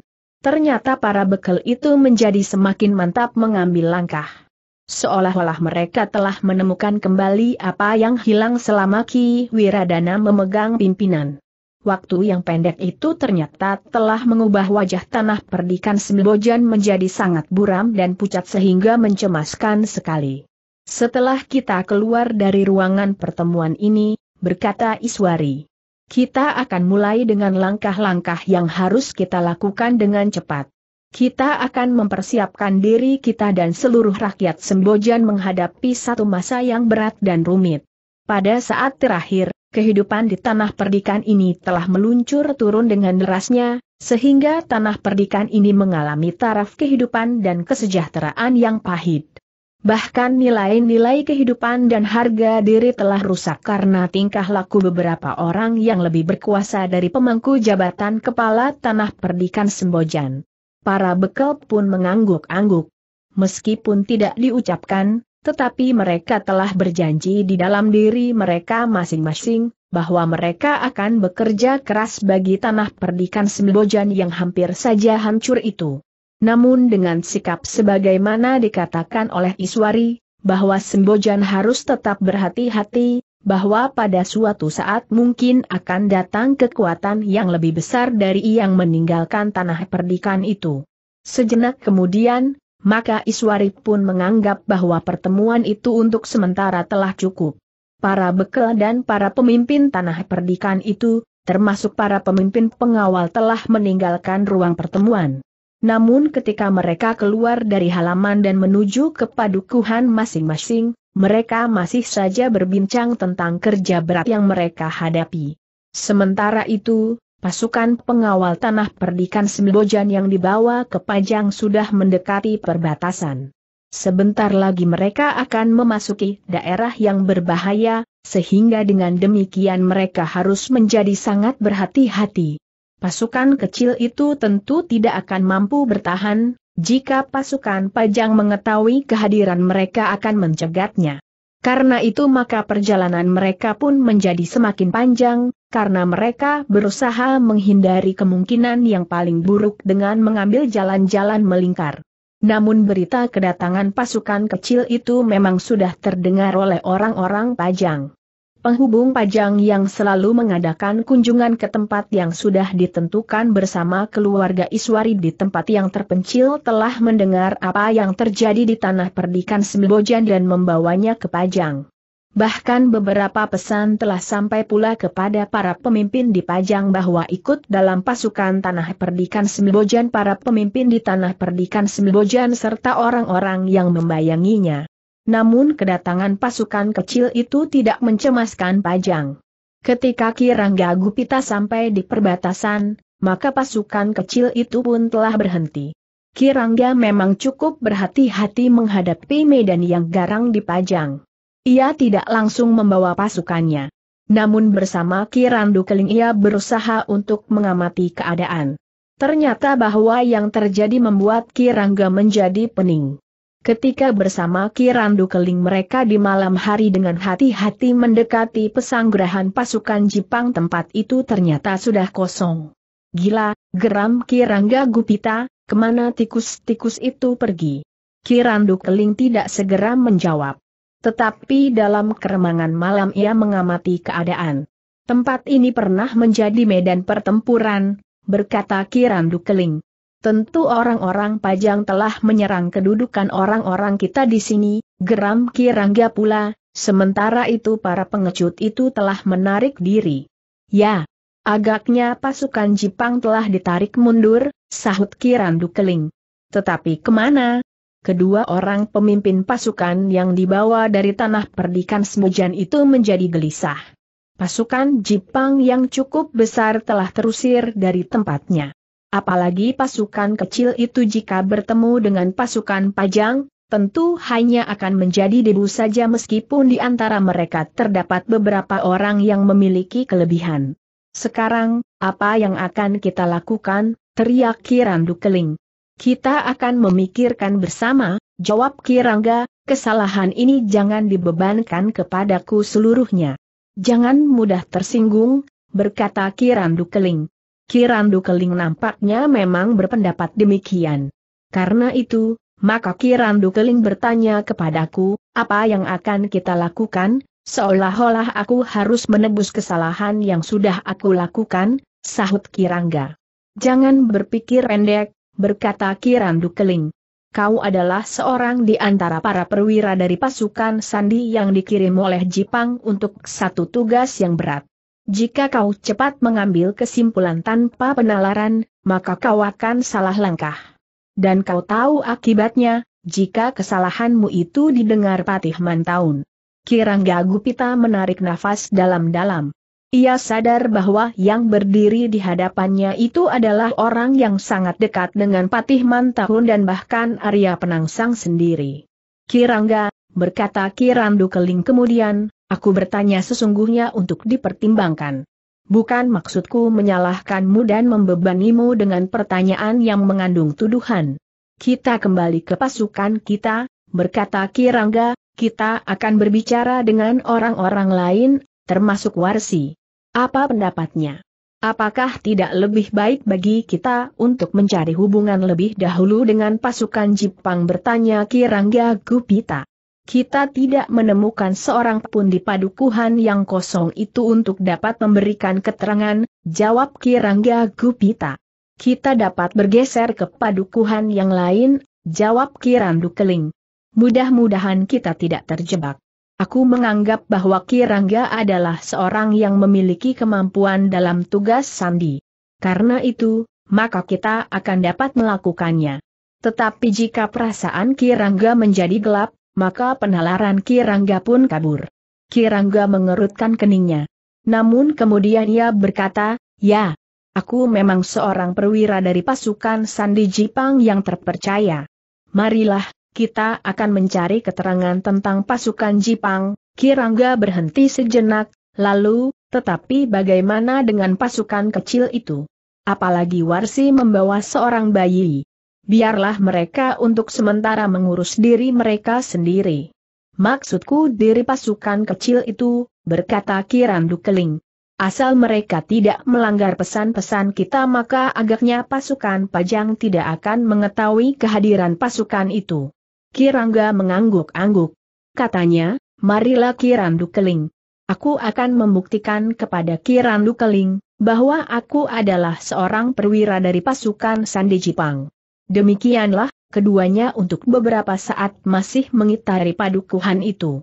Padukuhan yang sepi, karena penghuninya telah pergi mengungsi.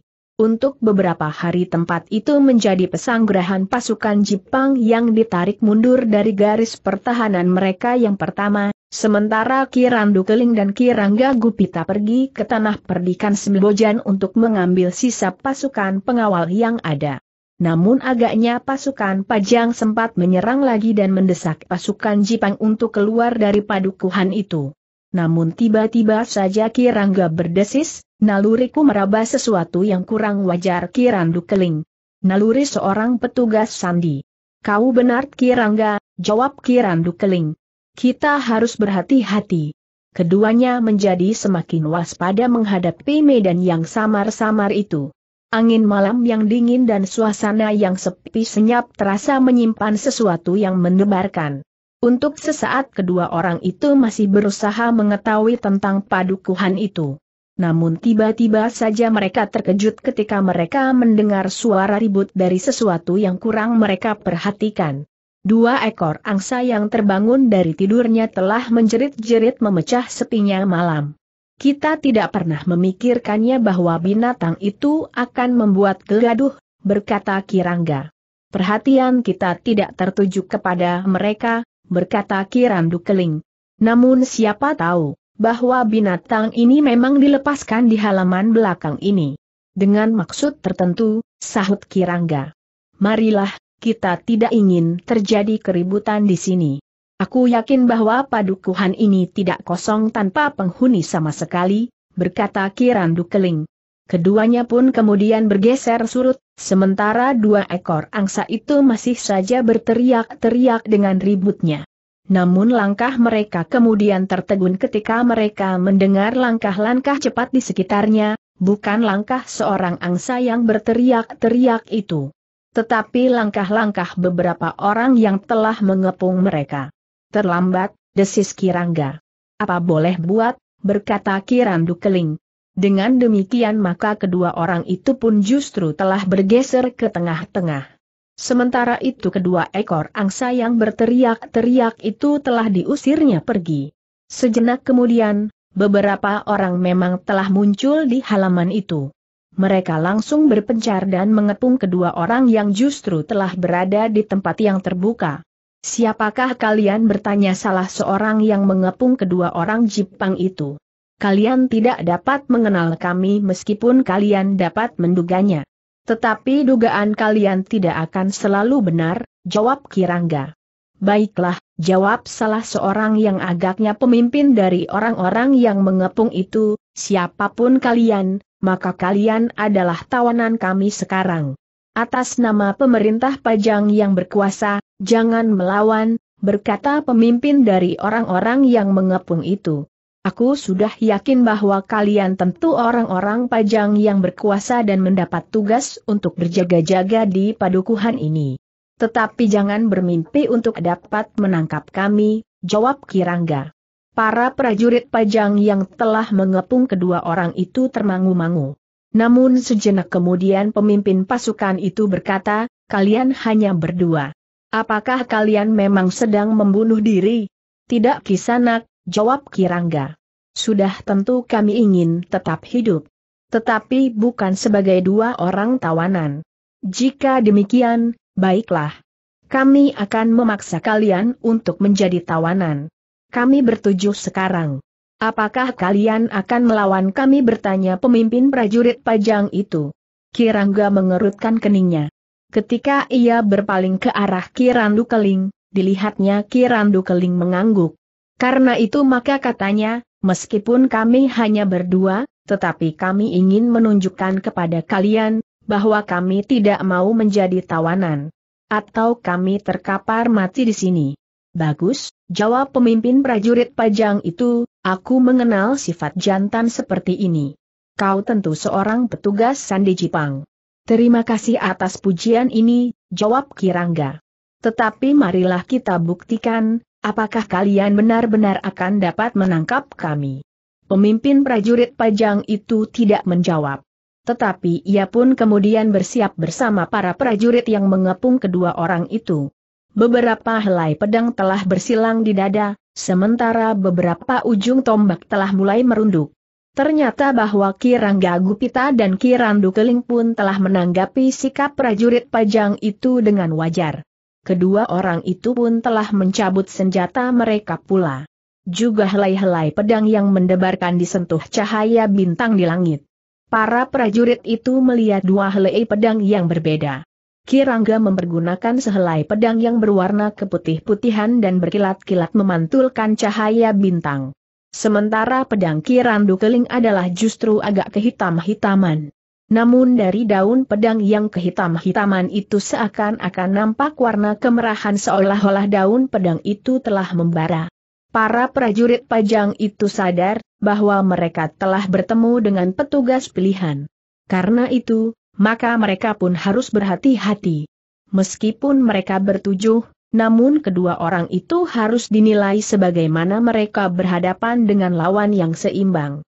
Pemimpin prajurit Pajang itu pun melangkah semakin dekat sebagaimana prajurit yang lain. Senjata mereka mulai bergetar sementara Kirangga Gupita dan Kirandu Keling pun telah bersiap. Ketika pemimpin prajurit Pajang itu mulai menjulurkan pedangnya, maka senjata-senjata yang lain pun mulai mematuk pula. Dengan demikian, maka segera terjadi pertempuran yang seru. Ketujuh prajurit pajang itu adalah prajurit-prajurit yang cukup terlatih. Tetapi lawan mereka adalah seorang perwira terpilih dari pasukan Sandi Jepang dan yang seorang lagi adalah seorang pertapa yang menyimpan selumbung ilmu di dalam dirinya. Kirangga dan Kirandu Keling yang ada itu berdiri saling membelakangi. Mereka bertempur melawan siapa pun yang menyerang mereka. Bahkan sekali-kali Kirangga pun menyerang pula dengan garangnya. Namun agaknya Kirandu Keling masih merasa segan untuk menyerang orang-orang pajang itu. Meskipun demikian jika Kirandu Keling itu menangkis setiap serangan, maka benturan yang terjadi itu telah mendorong lawan-lawannya beberapa langkah surut. Pedang Kirangga yang berkilat-kilat itu berputaran bagaikan baling-baling sehingga timbul kabut putih mengelilingi Kirangga Gupita. Sedangkan di belakang Kirangga Gupita, Kirandu Keling memegang pedangnya seakan-akan tidak bergerak sama sekali. Hanya pada saat-saat pedang lawannya mematuk tubuhnya maka pedang itu bergetar sesaat, namun cukup melemparkan arah sasaran senjata lawan menyamping. Demikianlah pertempuran itu menjadi semakin sengit. Ketujuh orang prajurit pajang itu semakin meningkatkan kemampuan mereka. Latihan-latihan yang berat di segala medan, serta pengalaman mereka menghadapi lawan yang berilmu tinggi, memberikan landasan pada tata gerak mereka. Namun ternyata mereka sangat sulit untuk mengatasi kemampuan lawan. Tetapi sementara itu, pemimpin kelompok kecil itu pun telah memusatkan perlawanannya terhadap Kirangga yang dianggapnya lebih mudah diatasi daripada Kirandu Keling. Menurut penglihatannya Kirandu Keling memiliki ilmu yang sulit untuk dijajagi. Dengan demikian maka pemimpin kelompok kecil itu ingin berusaha untuk mengakhiri perlawanan Kirangga lebih dahulu, baru kemudian Kirandu Keling. Untuk beberapa saat, pertempuran itu masih berlangsung dengan sengitnya. Pemimpin kelompok itu berusaha untuk dapat menembus kemampuan bermain pedang Kirangga yang tubuhnya bagaikan berperisai kabut putih. Dua orang prajuritnya telah mendapat isyarat untuk memusatkan serangannya dari arah lambung sebelah menyebelah. Sedangkan pemimpin kelompok itu akan menyerang ke arah dada. Sementara empat orang lainnya harus berusaha mengikat Kirandu Keling dalam pertempuran, apa pun yang dapat mereka lakukan. Usaha pemimpin kelompok itu memang mulai menggetarkan pertahanan Kirangga. Serangan yang datang dari tiga arah itu kadang-kadang membuatnya bergeser satu dua tapak. Dengan demikian maka pemimpin kelompok kecil itu mempunyai perhitungan, bahwa pertahanan Kirangga itu sudah mampu digoyahkannya meskipun baru sedikit. Tetapi dengan kerja keras, maka sedikit-sedikit pertahanan itu tentu akan pecah. Berbeda dengan Kirandu Keling. Pertahanannya masih sangat mantap. Ia seakan-akan sama sekali tidak mengalami kesulitan bertempur melawan empat orang prajurit pajang. Hanya sekali-kali saja terdengar ia justru memuji, bagus. Kau benar-benar seorang prajurit pilihan. Namun yang disebut prajurit pilihan itu harus meloncat surut untuk menghindarkan diri dari patukan ujung pedang yang kehitam-hitaman itu. Dalam pada itu, pemimpin kelompok yang melihat pertahanan Kirangga menjadi berguncang menjadi semakin garang menyerang bersama-sama dengan dua orang prajuritnya. Semakin lama rasa-rasanya menjadi semakin cepat, sehingga gumpalan awan putih yang menjadi perisai Kirangga seakan-akan telah mulai terkoyak. Kirangga menggeram mengalami perlakuan seperti itu. Ia tidak dapat mengelak bahwa ilmu pedang prajurit-prajurit pajang memang cukup tinggi, sehingga ujung-ujung senjata mereka mampu mengoyak kabut pertahanannya. Karena itu, maka Kirangga pun telah sampai ke puncak kemampuannya. Ia tidak saja bersandar kepada kemampuan ilmu pedangnya. Tetapi Kirangga mulai merambah kepada kekuatan ilmunya. Dengan demikian, maka pertempuran itu pun keseimbangannya telah berubah pula. Ketika para prajurit pajang itu menyerang semakin cepat, maka rasa-rasanya tiba-tiba saja tangannya telah menyentuh api. Hulu senjata mereka bagaikan menjadi panas membara. Para prajurit itu terkejut karenanya. Mereka bergeser selangkah surut, sementara Kirangga mulai memutar lagi pedangnya dan kabut pun nampak di seputar tubuhnya. Hati-hati, berkata pemimpin kelompok prajurit itu, orang itu memiliki ilmu yang jarang ada duanya.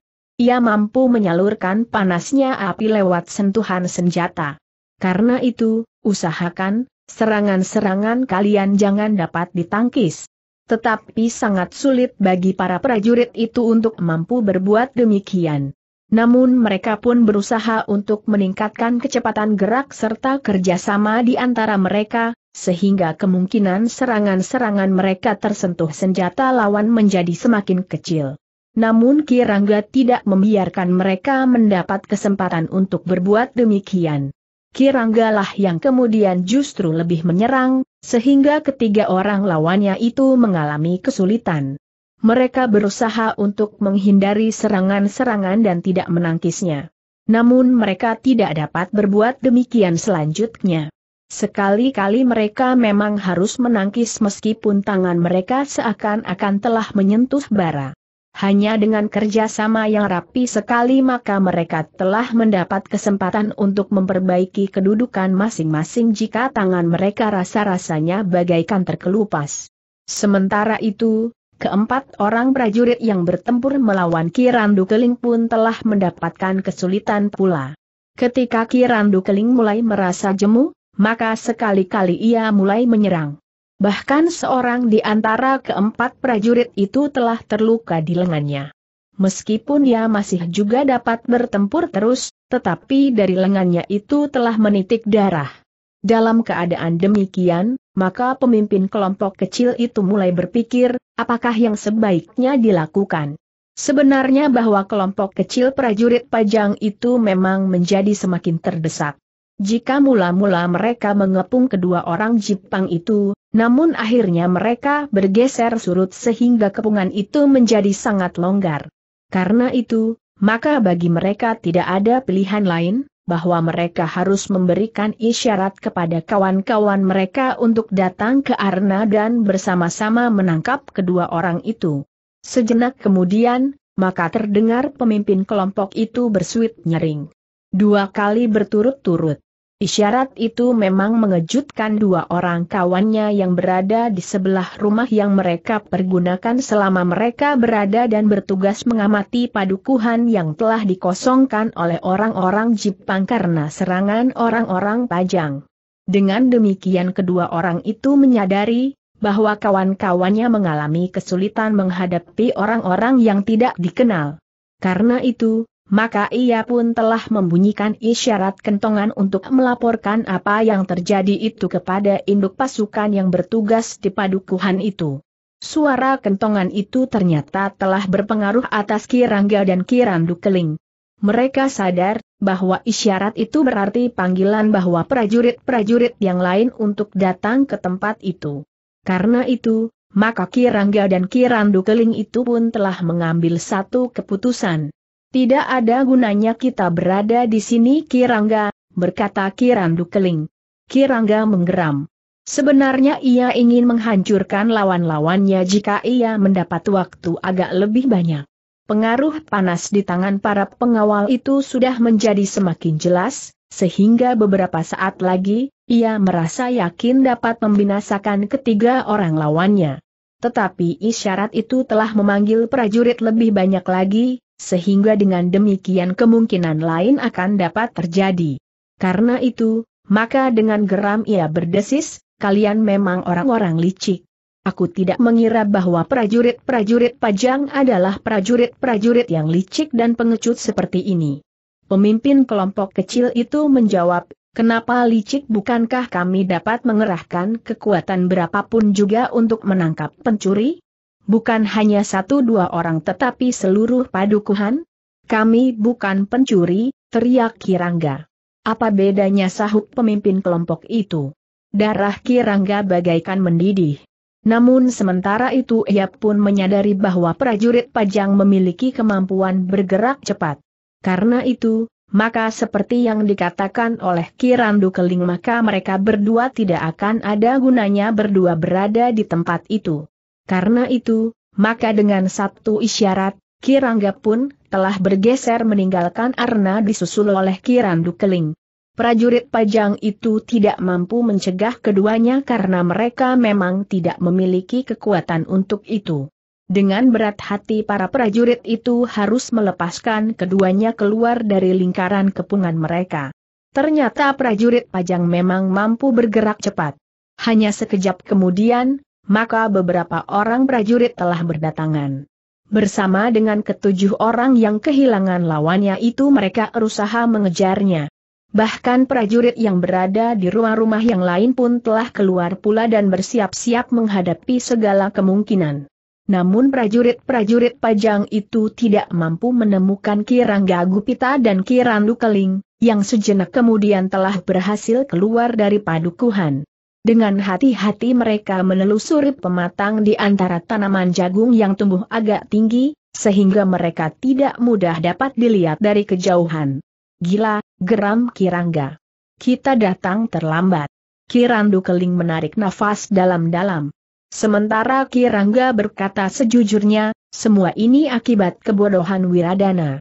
Jika ia mampu mengendalikan tanah perdikannya, maka tentu tidak akan terjadi pemberontakan yang dapat menghambat kepergianku kemari dengan membawa meskipun hanya sekelompok kecil pasukan pengawal. Jangan membebankan kesalahan sepenuhnya kepada Ki Wiradana, sahut Kirandu Keling. Ia tidak lagi banyak dapat berbuat di tanah perdikan Sembojan justru karena kehadiran kita di sana. Itu adalah kelemahannya yang utama, Sahut Kirangaga yang beberapa kali mengalami kekecewaannya, jika ia berdiri pada satu sikap, maka orang lain tidak akan mudah mempengaruhinya. Kita tidak sekadar mempengaruhinya, berkata Kirandu Keling. Aku datang memang untuk memaksakan pendapat dan sikapku, sebagaimana keinginan Kirangga. Wiradana bukan seorang yang lemah hati, atau katakanlah bukan semata-mata karena kelemahan hatinya saja yang telah membuat tanah perdikannya menjadi sulit, tetapi kita memaksakan kehendak kita dengan kekerasan. Ki Wiradana bukan seorang yang memiliki ilmu tinggi. Terhadap istrinya saja ia sudah tidak mampu melawannya. Tetapi Warsi menjeratnya tidak dengan kekerasan jawab Kirangga. Aku tidak menolak bahwa Ki Wiradana mempunyai kelemahan. Tetapi kesalahan Ki Wiradana, tidak mutlak dalam hal ini, jawab Ki Randu Keling. Ki Rangga tidak menjawab lagi. Ketika mereka meloncat ke jaan yang membujur di tengah-tengah bulak maka mereka tidak melihat seorang pun, sehingga mereka yakin, bahwa orang-orang pajang tidak mengejar mereka sampai ke jalan itu. Dengan demikian, maka keduanya telah berjalan dengan cepat menuju ke tempat mereka bersembunyi bersama pasukan yang dibawa dari tanah perdikan Sembojan. Untunglah mereka mendapat perlindungan dari sebuah hutan kecil yang terbentang menyelang di antara bulak-bulak panjang yang diantarai sebuah padang perduluas dan nampaknya memang agak gersang. Demikian keduanya sampai di antara para pemimpin pasukan yang datang dari tanah perdikan Sembojan itu, maka keduanya segera menceritakan apa yang telah terjadi dengan pasukan Jipang. Kita terlambat geram Kirangga yang masih saja dibakar oleh perasaan kecewa. Ya desis warsi kita dihambat oleh persoalan, persoalan yang timbul di tanah perdian. Pemangku jabatan kepala tanah perdikan Sembojan itulah yang dungu geram Kirangga. Sudah aku katakan potong kirandu keling, bukan salahnya sepenuhnya. Tetapi aku tidak menyangkal bahwa ia mempunyai banyak kelemahan. Ki Wiradana hanya menundukkan kepalanya saja. Ia termasuk orang yang dibicarakan di antara para pemimpin. Bukan orang yang membicarakan, apalagi menentukan sebagaimana seorang kepala tanah perdikan. Betapa perasaan kecewa dan menyesal melecut hatinya, namun Ki Wiradana sudah dibelit oleh keadaannya yang sekarang. Dan ia tidak akan dengan mudah dapat melepaskan diri. Apalagi jika ia menyadari betapa besarnya dendam Iswari kepadanya, karena Iswari tentu sudah tahu segala-galanya karena pengkhianatan serigala betina itu.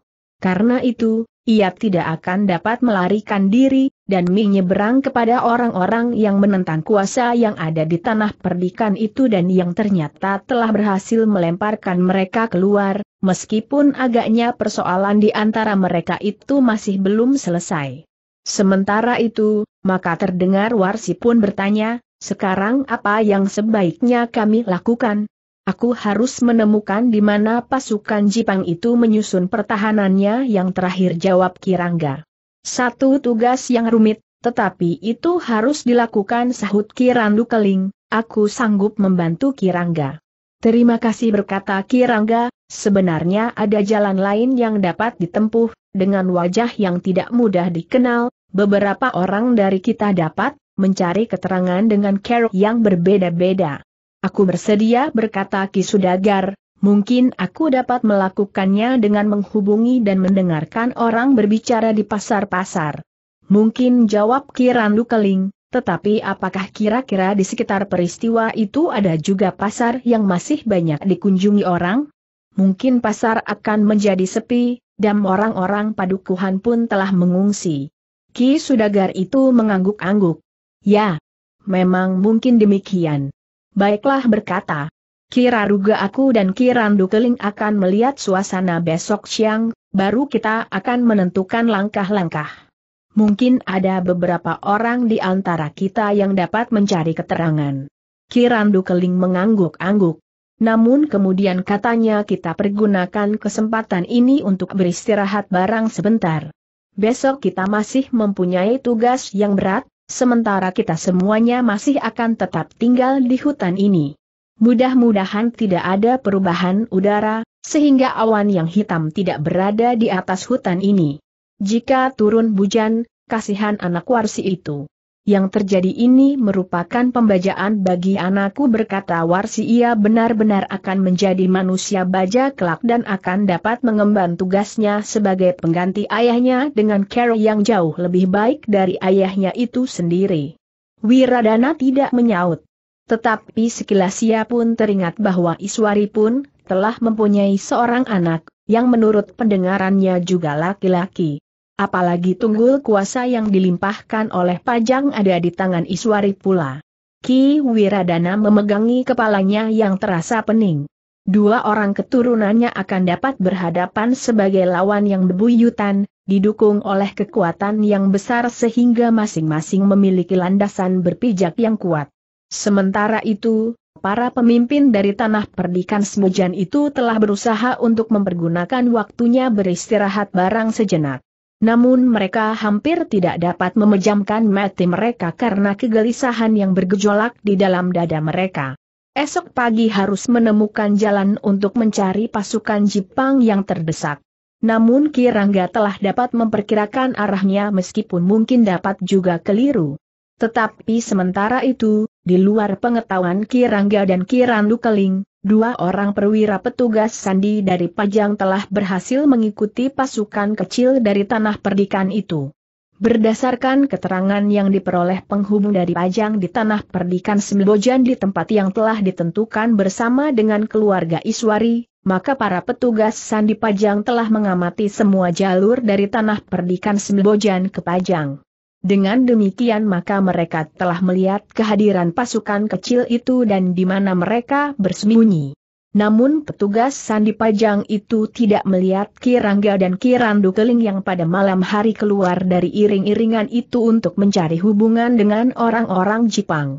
Tetapi ketika para petugas Sandi itu kemudian mendengar dua orang yang berada di padukuhan yang ditinggalkan oleh orang-orang Jepang, maka mereka pun segera mengerti, bahwa kedua orang itu tentu para pemimpin dari pasukan kecil yang baru datang itu.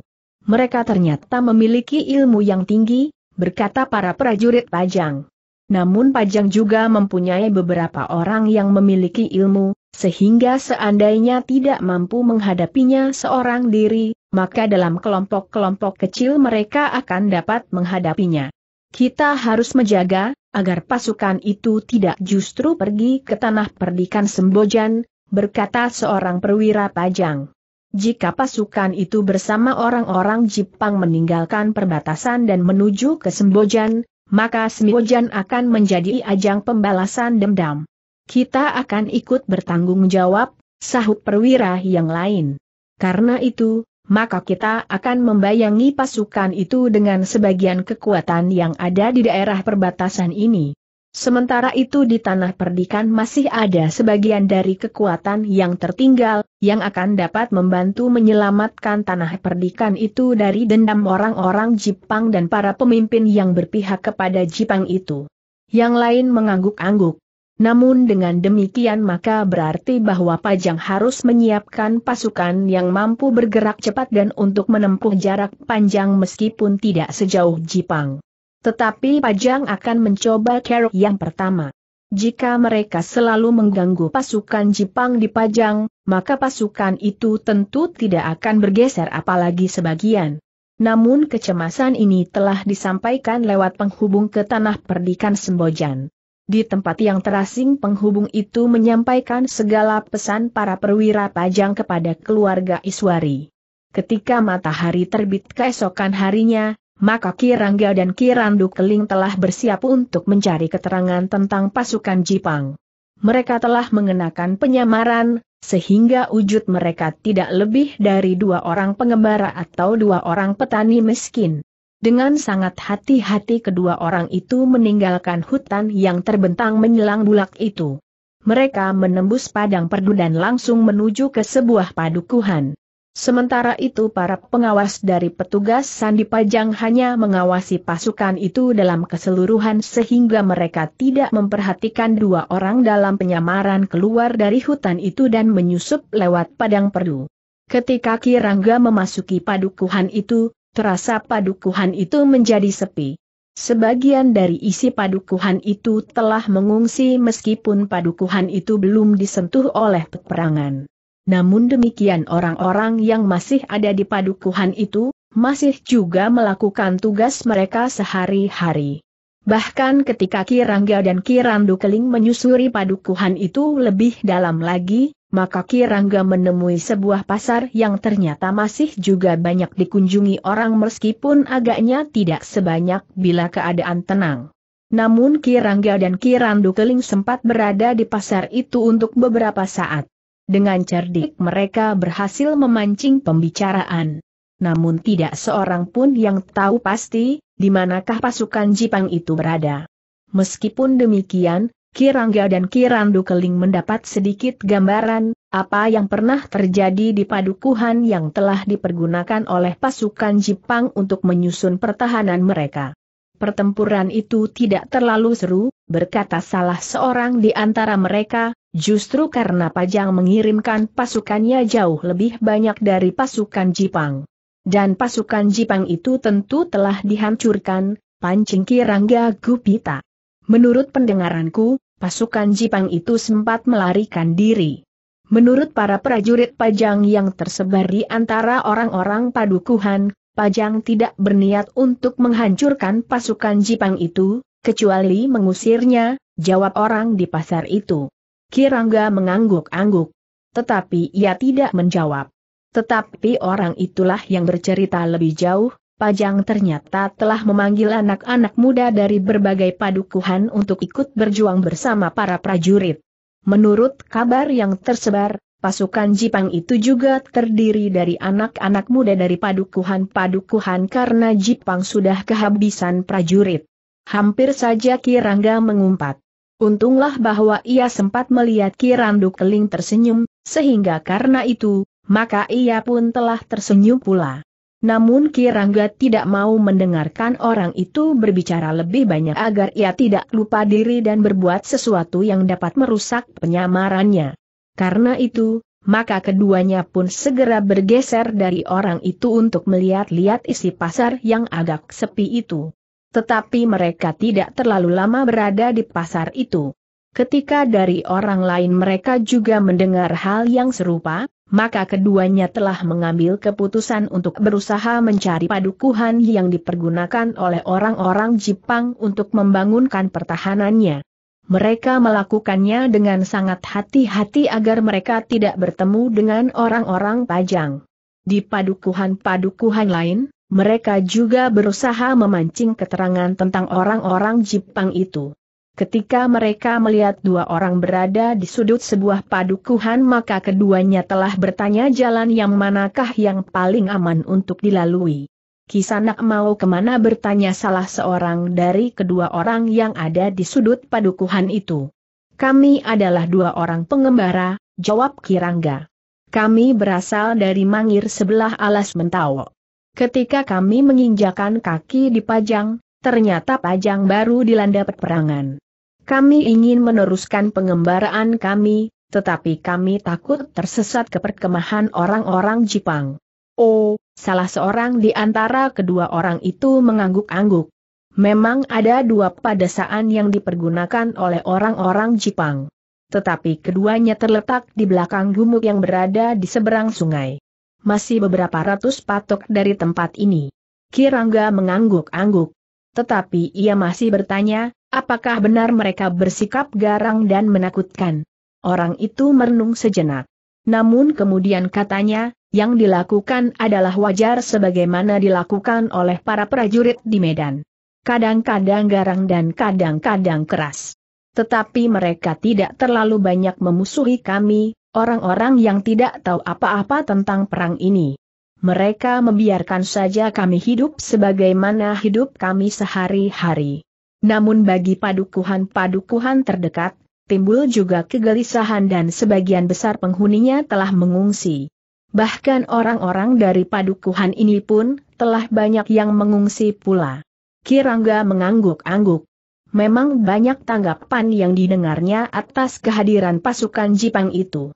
Namun bagaimanapun juga bagi orang-orang Pajang, Jepang adalah musuh mereka. Dengan ancar-ancar itu, maka Kirangga dan Kirandu Keling pun telah dapat mengetahui di mana pasukan Jepang itu berkemah. Namun mereka pun sadar, bahwa sekitar padukuhan yang dipergunakan oleh orang-orang Jepang itu tentu terdapat banyak petugas sandi dari Pajang yang mengawasinya. Karena itu, maka keduanya harus berhati-hati agar keduanya tidak masuk ke dalam perangkap mereka. Kirangga adalah seorang perwira dari pasukan sandi yang berpengalaman. Sedangkan Kirandu Keling adalah seorang pertapa yang juga memiliki pengalaman yang sangat luas. Karena itu, maka keduanya merasa mampu untuk menembus pengawasan orang-orang pajang yang ada di sekitar padukuhan itu.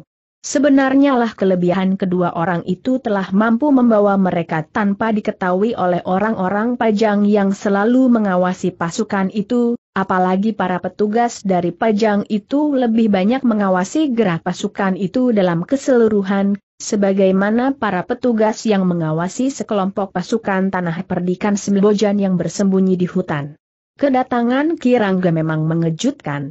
Hampir saja para penjaga mematuknya dengan ujung tombak. Namun dengan cepat Kirangga memberikan penjelasan tentang dirinya dan Kirandu Keling. Di mana Senapatimu bertanya Kirangga. Ia berada di padukuhan sebelah, jawab prajurit Jepang itu. Apakah padukuhan itu terpisah jauh dan jarak itu diawasi oleh orang-orang pajang bertanya Kirandu Keling? Tidak, jawab prajurit itu. Padukuhan itu hanya dipisahkan oleh bulak sempit dan jarak itu sepenuhnya dikuasai oleh kita. Bagus, berkata Kirangga. Bawa aku kepada mereka. Para senapati pasukan ini. Dua orang prajurit kemudian mengantar Kirangga dan Kirandu keling ke padukuhan sebelah untuk bertemu dengan para pemimpin pasukan Jepang yang sudah semakin terdesak itu. Kedatangan Kirangga memang memberikan harapan kepada para senapati Jepang. Namun Kirangga ternyata tidak membawa pasukan yang cukup banyak. Meskipun demikian, kedudukan kita akan menjadi semakin kuat, berkata Panglima pasukan Jepang itu. Apakah ada harapan kita untuk mendesak pasukan Pajang bertanya Kirandu Keling. Sulit untuk mengatakannya, jawab Panglima itu. Tetapi dengan kekuatan itu, kita akan dapat bertahan di sini untuk waktu yang lama. Kita tidak perlu diusir lagi semakin jauh dari perbatasan. Tetapi bagaimana membawa pasukan itu kemari bertanya Kirangga Gupita. Pasukan itu hanya kecil saja. Jika kita terjebak, maka keadaan akan menjadi sangat sulit bagi pasukan itu untuk dapat keluar. Panglima itu pun mengangguk-angguk. Ia pun mengerti, bahwa pasukan kecil itu agaknya sudah masuk pula ke dalam pengawasan para petugas Sandi Pajang. Untuk beberapa saat para senapati itu berpikir. Namun kemudian Panglima itu berkata, siapkan pasukan itu. Besok mereka masih harus bersembunyi. Jika malam datang, maka sebagian dari pasukan kita di sini akan menjemput mereka. Dengan demikian, maka jika terjadi benturan kekuatan, maka kita termasuk pasukan yang baru datang itu akan mendapat kesempatan untuk menarik diri karena kita tidak terlalu lemah. Dalam keadaan yang khusus, maka akan dikirim isyarat sehingga seluruh pasukan terpaksa bergerak untuk menyelamatkan mereka. Kirangga menarik nafas dalam-dalam. Katanya, setidak-tidaknya kita akan mampu bertahan. Terima kasih, berkata Kirangga. Aku akan mempersiapkan mereka. Untuk beberapa saat lamanya mereka masih berbincang. Sehingga akhirnya Kirangga dan Kirandu Keling pun minta diri untuk kembali ke pasukan kecil itu. Besok malam, mereka akan dijemput oleh kekuatan yang cukup besar meskipun dalam gerak rahasia. Dengan demikian, maka keduanya telah meninggalkan padukuhan itu. Sebagaimana mereka datang, maka mereka pun harus pergi dengan sangat berhati-hati. Namun keduanya cukup memberikan bekal kepada mereka untuk melakukan tugas mereka dengan baik. Sejenak kemudian, maka mereka pun merasa telah terlepas dari pengawasan para petugas Sandi Pajang. Namun ketika mereka mendekati hutan kecil itu, maka mereka pun kembali harus sangat berhati-hati, karena mungkin pasukan kecil itu pun telah diketahui dan selalu diawasi pula. Menjelang dini hari Kirandu Keling telah berada kembali di antara pasukan pengawal tanah perdikan. Mereka pun segera memberikan laporan, apakah yang telah mereka lakukan. Nah, kau dengar kakang, berkata Warsi kepada Ki Wiradana. Bukankah sambutan para senapati Jepang cukup baik? Mereka akan menjemput kita. Itu adalah pencerminan sikap bertanggung jawab dari para senapati Jepang. Terima kasih, desis Ki Wiradana. Terima kasih, terima kasih. Hanya itulah yang dapat kau lakukan. Sekadar mengucapkan terima kasih bentak Warsi. Ki Wiradana terkejut. Ia tidak tahu maksud Warsi, sehingga ia justru menjadi bingung. Kau harus berbangga diri, bahwa pasukan pengawalmu mendapat kehormatan untuk ikut serta dalam persoalan yang besar ini. Dengan demikian maka para pengawalmu akan mendapatkan pengalaman yang cukup, sehingga kelak tanah perdikan Sembojan akan menjadi tanah perdikan yang memiliki kekuatan yang seimbang dengan beberapa kadipaten. Mungkin tidak dalam jumlah pasukan, tetapi tingkat kemampuannya akan memadai, berkata Warsi. Ki Wiradana mengangguk. Katanya, ya, aku pun berpikir seperti itu. Kau tidak pernah mampu memikirkannya, sahut Warsi. Namun kemudian Warsi pun bertanya kepada Kirangga. Jadi besok malam kita akan bergabung dengan pasukan induk itu? Ya. Besok kita harus mempersiapkan diri, berkata Kirangga. Namun demikian kita harus tetap berhati-hati. Mungkin pasukan Pajang akan menyergap kita siang nanti. Warsi mengangguk-angguk. Lalu katanya kepada Ki Wiradana, kau jangan tidur saja. Hati-hati dengan pasukanmu. Mereka harus selalu siap. Beberapa orang harus tetap ditempatkan di tepi hutan untuk mengamati apa yang terjadi di luar hutan dan di padang perdu itu. Kita tidak banyak mengenal medan di sini. Ki Wiradana hanya mengangguk kecil.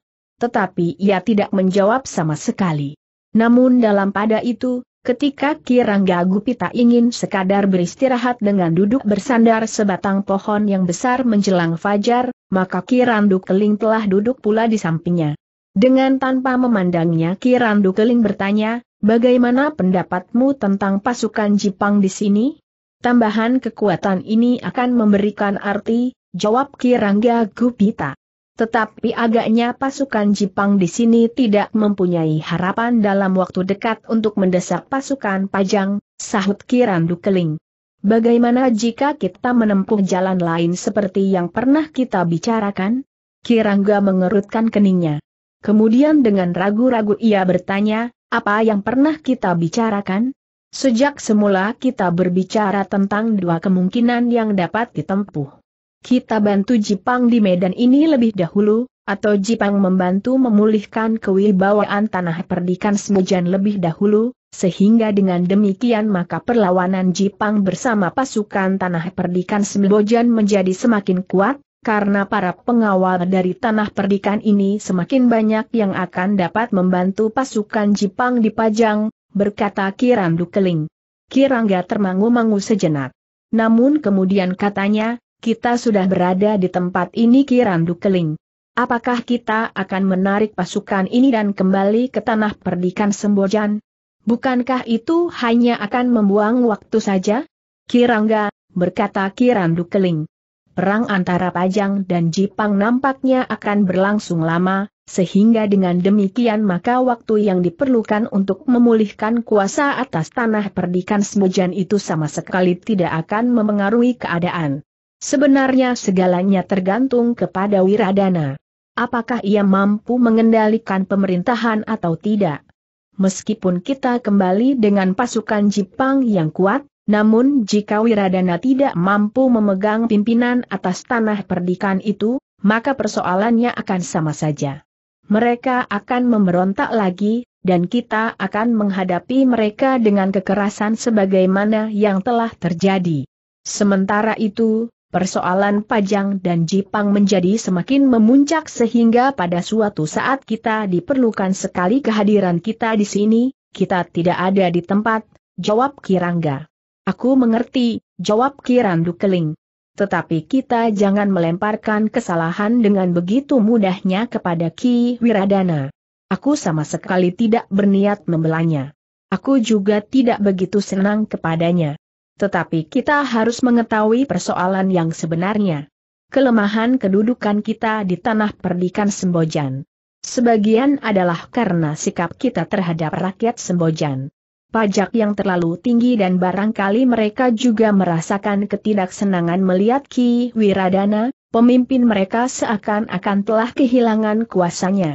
Ditambah lagi pengaruh Nyai Wiradana yang tua di antara rakyat Sembojan itu sendiri. Karena itu Kirandu Keling berkata Kirangga, bagiku lebih baik kita berada di sini untuk sementara. Kita akan melakukan perintah Jipang. Jika kita tidak berada di sini, mungkin Pajang akan mengirimkan pasukan untuk memperkuat kedudukannya di pesanggerahannya di seberang Bengawan sore yang berhadapan dengan pasukan Jipang. Kirandu Keling menarik nafas dalam-dalam. Namun katanya, jika pasukan ini meninggalkan Pajang dan untuk beberapa hari berada di tanah perdikan Sembojan sudah tentu dengan persetujuan Jipang. Karena keterlibatan tanah perdikan Sembojan juga atas persetujuan Jipang.